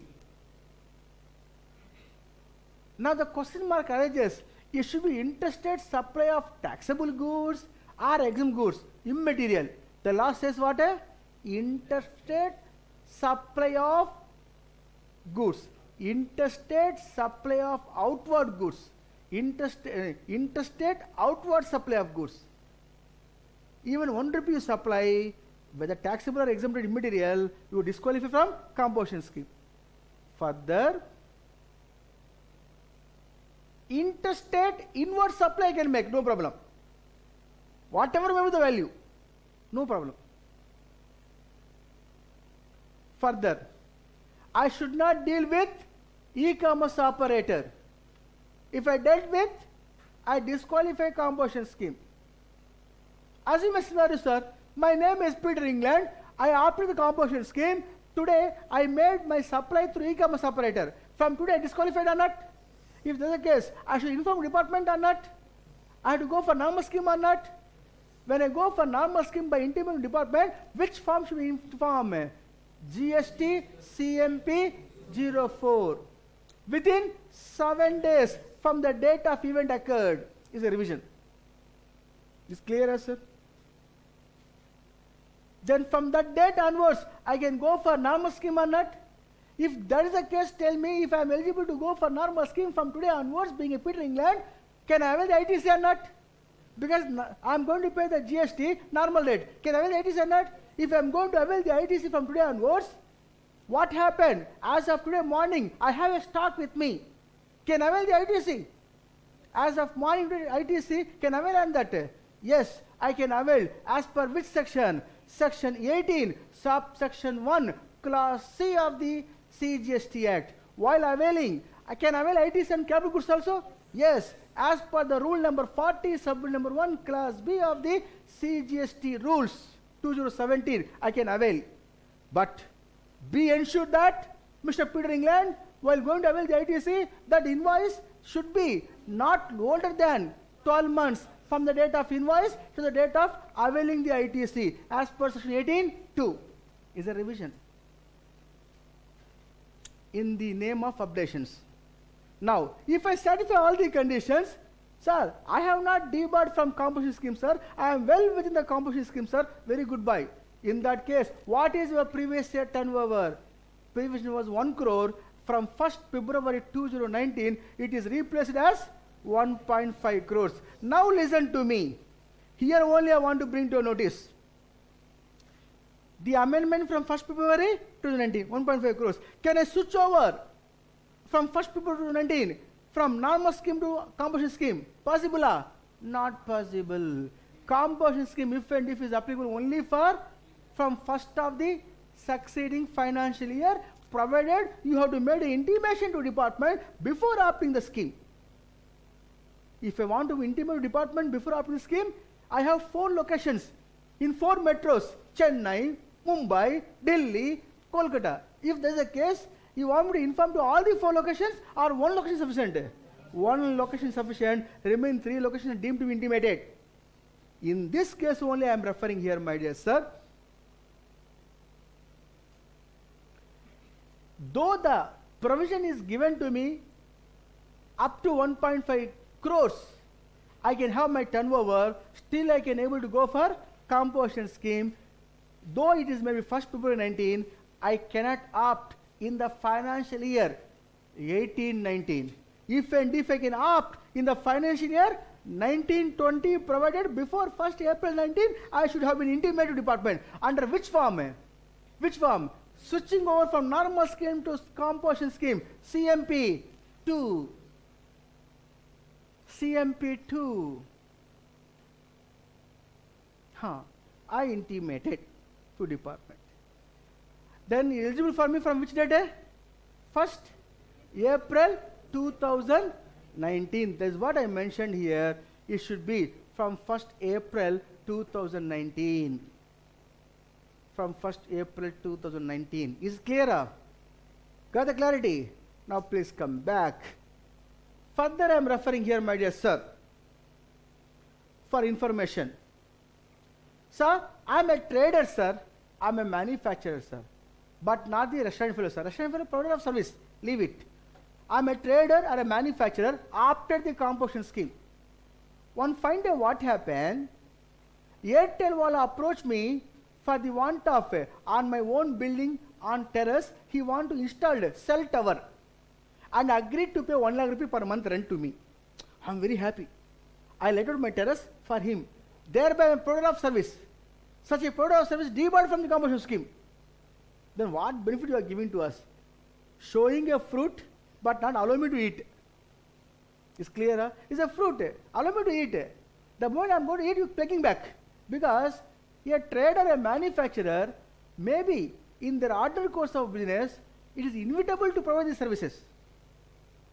Then in that case, the lawmakers accepted the practical view recommended by the GST Council to the Government of India, amend the law further. Being a trader, being a manufacturer who opted the composition scheme, also allowed to be provide these services within the following limits. Less than or equal to 10 percentage of the turnover of the preceding financial year or 5 lakhs rupees, whichever is higher, up to which you can provide the services and maintain dash your status of composition scheme also. Yes. For information, today composition scheme are uh, getting so much of benefits, sir. There are so many amendments are going to come now. I will explain to you. Now listen. There is a reason I mentioned here this particular place. I said that, saying that in the given case, a composition levy assessee can have value of services less than or equal to 10 percentage of the turnover in a single in a state in the preceding financial year or 5 lakh rupees whichever is higher up to which can do the supply of services still maintain the status of the composition scheme. If exceeds you debar from composition scheme. Is clear sir? Now this particular limit 1.5 crores allowed to all the states except the following states. Today I cannot say, my dear sir, special category status states. Reason, even though there are special category states like Jammu and Kashmir, like Assam and all, they themselves strongly recommended to GST Council, we want 1.5 crores turnover for composition scheme. It is state matter. Therefore, accepted. Resulting that from 1st April 2019, there are few states like Arunachal Pradesh. The limit to go for composition scheme should not exceed 75 lakhs of rupees. Manipur should not exceed 75 lakhs to go for composition scheme. A trader, a manufacturer, I'm talking a trader, a manufacturer, or a restaurant fellow, or Meghalaya should not exceed 75 lakhs of rupees turnover to go for composition levy scheme. Mizoram should not exceed 75 lakhs to go for composition scheme. A person who providing trading or manufacturing out in the state of Nagaland, the turnover in the preceding financial should not exceed 75 lakhs. It is aggregate turnover. You know aggregate turnover means what turnover? All India basis, pan based aggregate turnover as referred under section 2.6 of the CGST Act. Further, state of Sikkim, the state of Tripura, the state of Uttarakhand, after the composition scheme, the limit provided to their traders and manufacturers, restaurant people, only 75 lakhs only. Now, if that is the case, I am bringing furthermore amended provision from 1st April 2019. Sir, being a trader, what liable to pay GST? Being a trader, what percentage liable to pay GST composition levy? 0.5% CGST, 0.5% SGST. Is clear? Clear, my dear sir? Fine. Manufacturer, same 0.5% CGST, 0.5% GST. Is clear? For a trade, for a restaurant fellow, 2.5% of CGST, 2.5% GST. Now here, amendment taken place on turnover because they are going to pay the GST turnover basis. Sir. Turnover basis payment of GST is for the composition scheme. Now,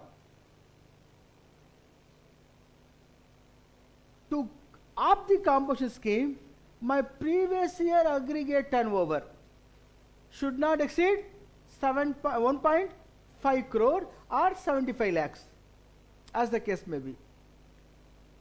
That aggregate turnover to decide for composition scheme applicable or not applicable, now law got amended. From 1st February 2019, for a trader, for a manufacturer, that turnover should not include interest earned on deposits, loans or advances. Look to me, you understand. Repeating, interest earned on deposits, loans or advances is exempt supply, not a supply. That is not addable in the aggregate turnover for a restaurant fellow whose previous year turnover we are going to compute. Should not include interest earned on deposit, loans and advances. Not only that, exempted supply should not include. For a restaurant fellow, previous year turnover when you aggregate turnover should not include exempted supply which includes interest earned on deposit, loans advances. Correct? Now what happened?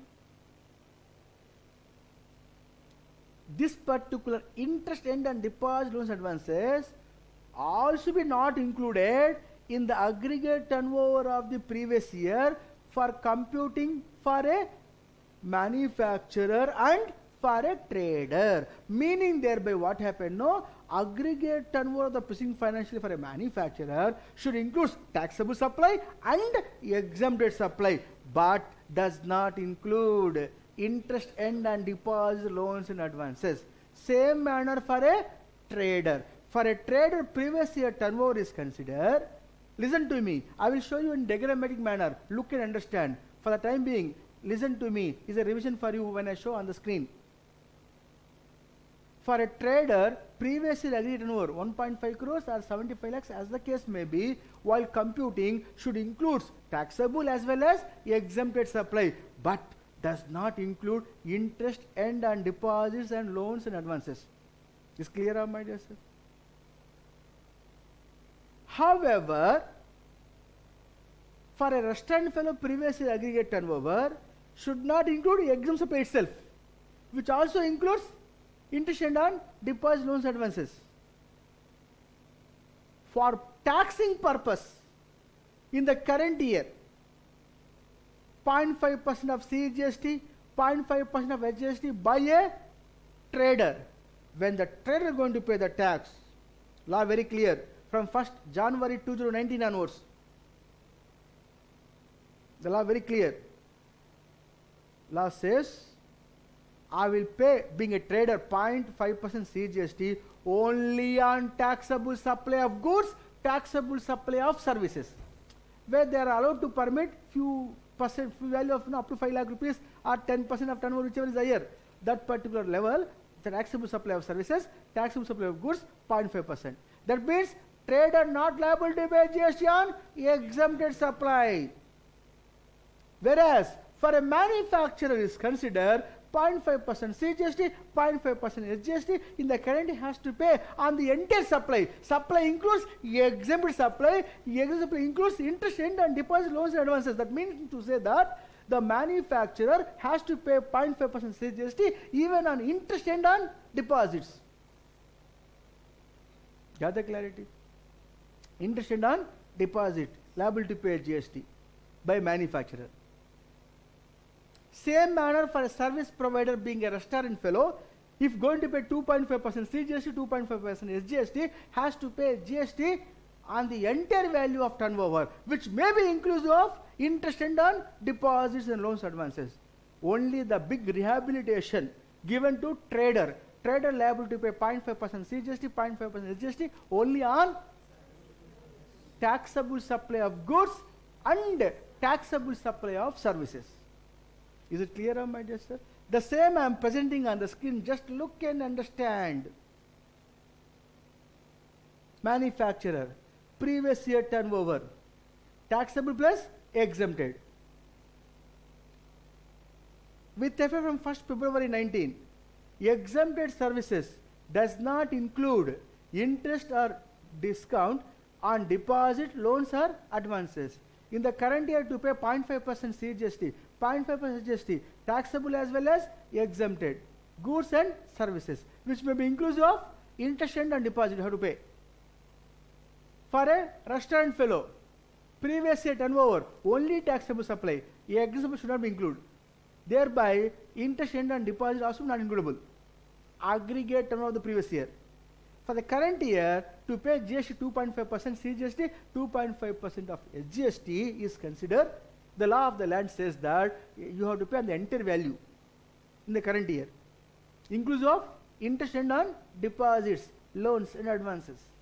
For a trader is considered previous year turnover taxable as well as exempted. From 1st February 19 does not include interest and on deposit, loans and advances. For paying the CGST, SGST 0.5% each on only taxable supply. Only on taxable supply of goods and services. Is it clear? Sir? This is what the amendment with regard to section 10 for a trader, for a manufacturer especially is considered. Now I am bringing to your notice from 1st April 2019 notification number 2 slash 2019 with effect from 1st April 2019 this particular benefit of composition scheme also be extended to to service providers who are other than restaurant fellows. Is clear, sir? Now listen to me. This provision I am referring to page number 13. Now listen to me. You will understand, my dear sir. I am telling you, understand. the entire situation I'm presenting here. First listen. I will also provide the numeric here by presenting certain examples. Listen to me. Now I am presenting in front of you service provider for whom a composition scheme made applicable from 1st April 2019 vide notification number 2 slash 2019 when applicable means this service provider should satisfy the following conditions. 1 service provider should not be dealt with non taxable supplies 2 service provider should not supply interstate outward supplies. Service provider should not supply his services through e-commerce operator. Service provider should ensure that his aggregate turnover in the preceding financial year less than or equal to rupees 50 lakhs should not exceed 50 lakhs. If all conditions cumulatively satisfied, such a service provider from 1st April 2019 can go with the composition scheme to pay the CGST 3%, SGST 3%.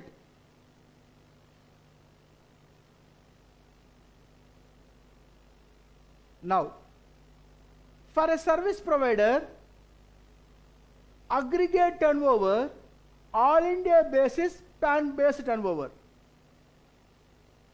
which includes taxable supplies, exempted supplies, but does not include interest and on deposit loans and advances. In the case of previous year turnover is considered for the current year turnover is considered, it is entire turnover. 3% on the entire value of supply, which includes taxable as well as exempted supplies. Further, there may be a possibility that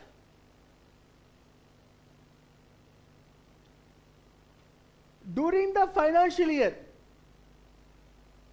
2019 and 20,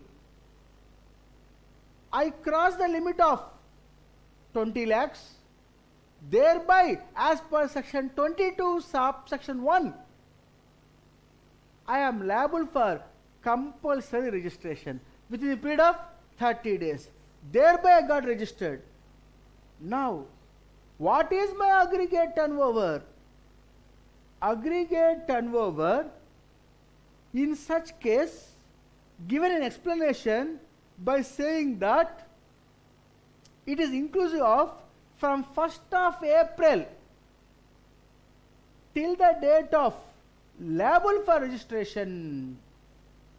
However, while going to pay the GST in the current year, 3% in the composition scheme as a CGST on the turnover that turnover should not include the turnover from 1st of April to the date of the liable for registration.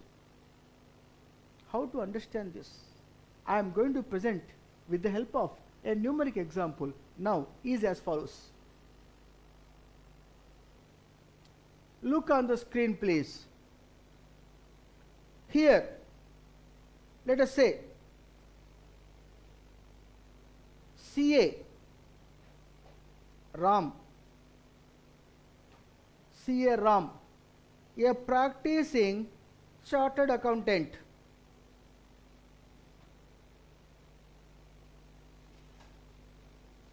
Namely, is a service provider, simplified manner to say.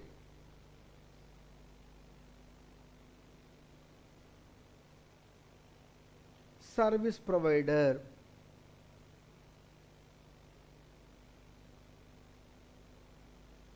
For the first time in his lifetime, he crossed the 20 lakhs in the current financial year. In the financial year 1920, his turnover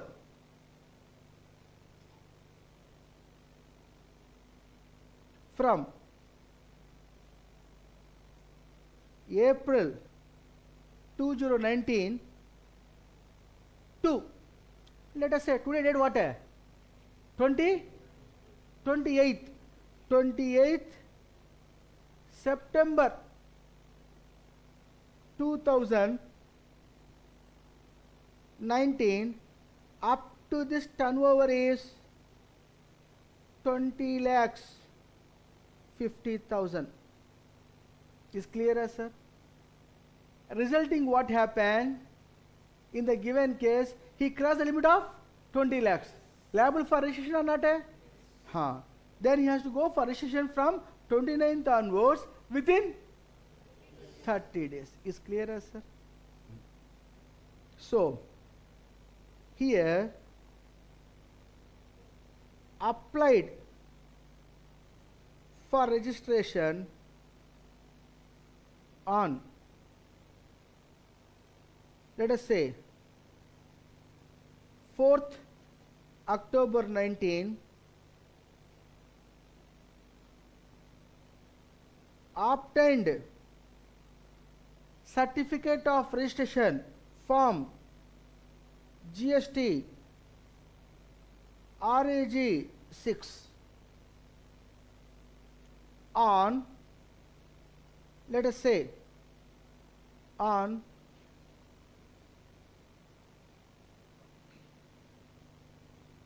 seventh October nineteen.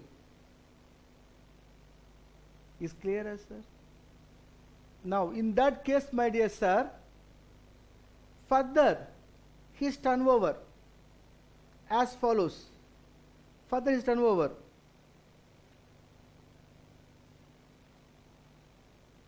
From October turnover.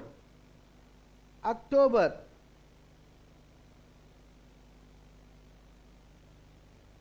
December turnover is let us say 15 lakhs. That's all. 15 lakhs. That's all.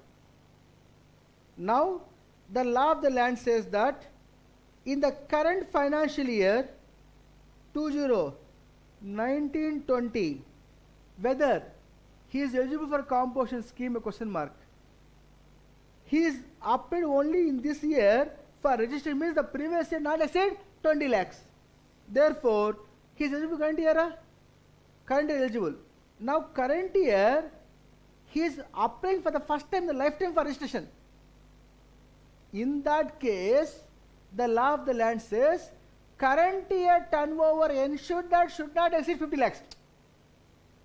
Previous year always base amma. If there is no previous year, current year is my base. Even 1.5 crores also, previous year turnover not exceed 1.5 crores. In the current year I am a compulsory assessee. If in the current year if I cross the limit of 1.5 crores, with immediate effect in the current year I debarred from the compulsory scheme. You aware of that or not? Therefore, in the current year, turnover how much should be referred for him means from the 1st of April to the date liable for registration. How much? 20 lakhs 50,000 plus plus he is going for further registration. He is 15 lakhs. Total how much? So far 30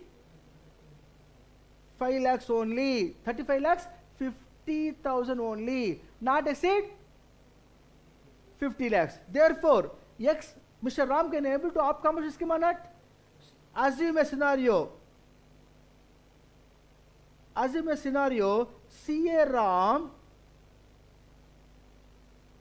in the given case, CA Ram opted composition scheme Is clearer? Then liability by GST. Liability based what turnover means? The turnover is only after he got registered. That means the turnover from the 1st of April to the date of liable for registration should not be taken into account to tax him. He will cry. Therefore, for taxing purpose, my dear sir, in the current year on quarter basis, only CGST 3 percentage on dash on rupees your 15 lakhs. You may argue with me, sir, what about the 50,000 in there in the 20 lakh 50,000? Assume, assume that also be taxing here. A bill that also taxing. See, liable for registration means up to 20 lakhs only. If you bill 20 lakhs cross, the entire bill will attract GST. Is clear, sir? Therefore, I will take this 50,000 treating it as a separate bill. Separate bill. Therefore, that also tax. Then 50,000 together will tax. CGST. How much comes here? 3% on 15 lakh 50,000. 3% CGST. 46,500 CGST like that SGST on 15 lakhs plus 50,000 15 lakhs plus 50,000 also 46,500 so from this what you understand my dear sir? From this aggregate turnover of a service provider from 1st of April to the up to the date of liable for registration should be included but it should not be included in the turnover to tax under composition scheme is an explanation there in your page page number 14 explanation is given after the serial number 7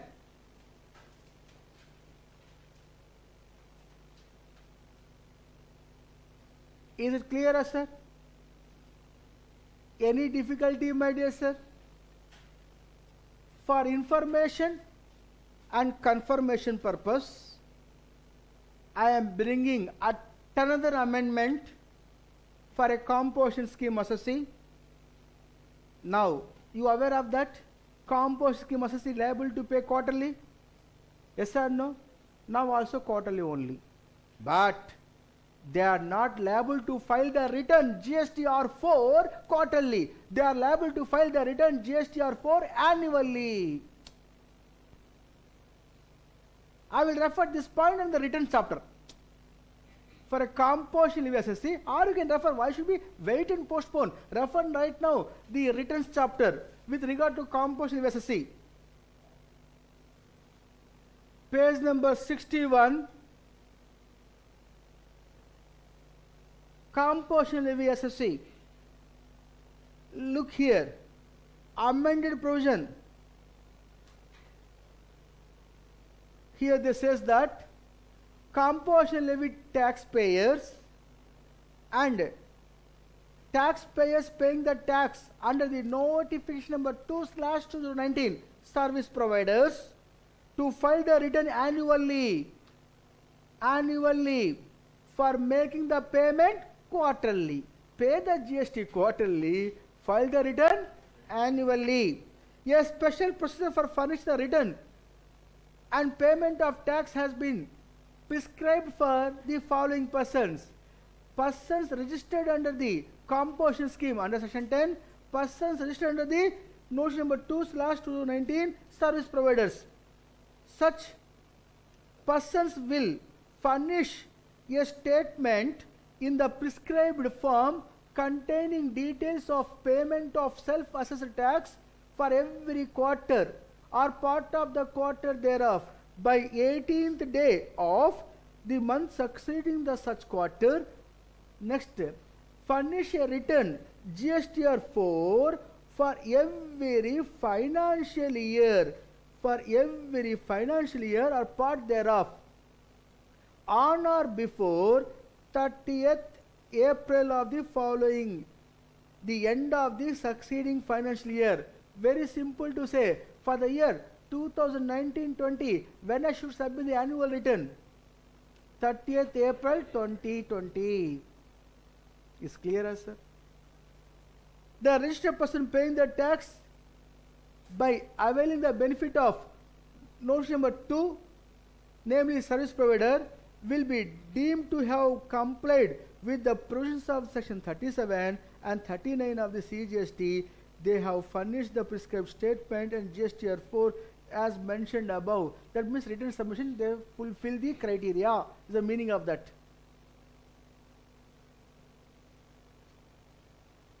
You understand this?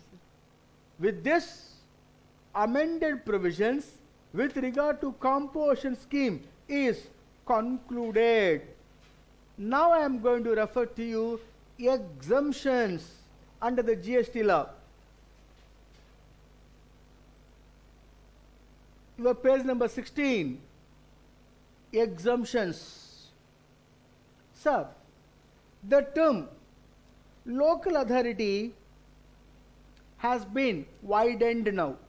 Earlier, it reads as local authority means a development board constituted under Article 371 of the Constitution of India. Now, along with that, they added one more Article 371J of the Constitution, resulting that what happened? No, there are two states. In the state of Karnataka, in the state of Telangana, there are seven districts where earlier not covered under this category of a local authority, now also come under local authority. That's all. They expanded the term, the particular scope. We now want to run behind the Constitution of India to read for the GST purpose. This much sufficient to understand. Earlier, Article 371, now 371 and 371J also be added for the term local authority, resulting the scope expanded.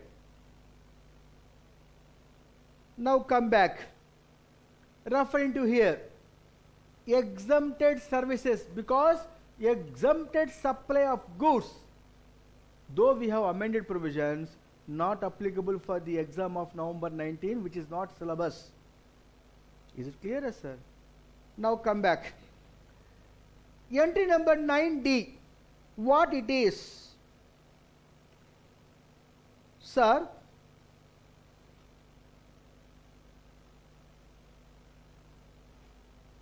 I will also suggest here, if I am not wrong, this particular entry number 90 excessively drafted.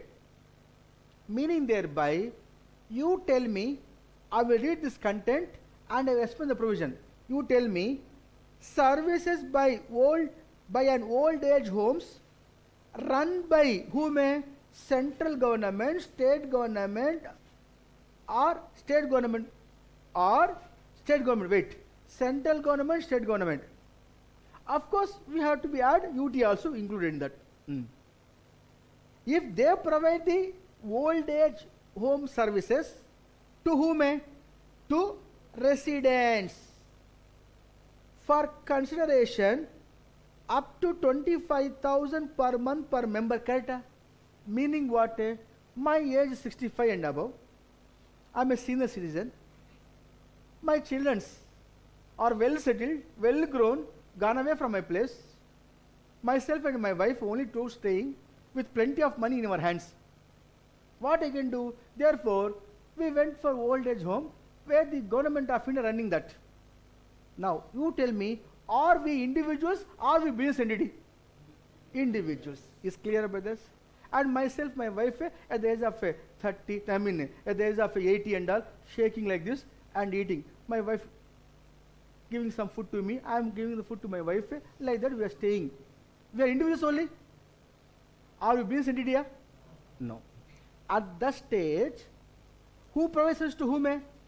Government provided to individuals. Is it not going to cover under entry number 6 of the notification number 12 slash 2017? Any service, any service other than speed post, express parcel post, other than the life insurance, agent services, or service vessel or aircraft, other than transport of goods and services, any service to a business entity only taxable, to a individual individual exempted amma entry number 6 is there ah? it is not going to cover. Here what? Will cover. Why they drafted a more excessive power it is called which is not warranted it is sufficient to draft services by an old age home run by entity registered under 12AA sufficient to draft 12AA of the Income Tax Act to residents. That is important. If it is non-residents, taxable. Per member, per month, up to rupees 25,000 exempted. More than 25,000, enter value attract GST. Is clear, as sir? In the name of exemption, I will tax if not qualify from exemption. Is it clear, as sir? Shall I proceed, my dear sir? Further, 10A. How to understand 10A? Serial number, just serial numbers for easy reference purpose are given. In your main material, you can compare as such. Now, here, interesting one it is. This particular section, I mean, entry number 10A, interesting one. Listen to me. Distribution of electricity by state electricity board or licensing authorities taxable or exempted exempted now they wanted to have a power plant for example tamil nadu electricity board tneb wanted to have a power plant for which the estimation project cost 100 crores they went to world bank for the want of loan world bank said i will pay 100 crores Anybody guarantee for you? Then wait, sir. TNEB came to Tamil Nadu state government. Sir, please give me guarantee to get the loan of 100 crores. Tamil Nadu state government asking, I will provide the lo- give guarantee to you. How much you pay the commission to me? Then the Tamil Nadu electricity board said that TNEB, I will pay commission 1 crore to you. Thereby, who is the provider, who is the recipient? Tamil Nadu state government supplier, recipient is the Tamil Nadu electricity board, a state undertaking, namely public sector undertaking, PSU. Such a commission drawn by, such a payment drawn by the state government or state central government by giving a guarantee for the loan to obtain by a PSUs qualify from exemption in the hands of supplier. That commission one crore not taxable. Further, entry number 21B. Huh. When I said 21B, I had referred 21, 21A. What is 21 of notification number 12 slash 2017 of central tax?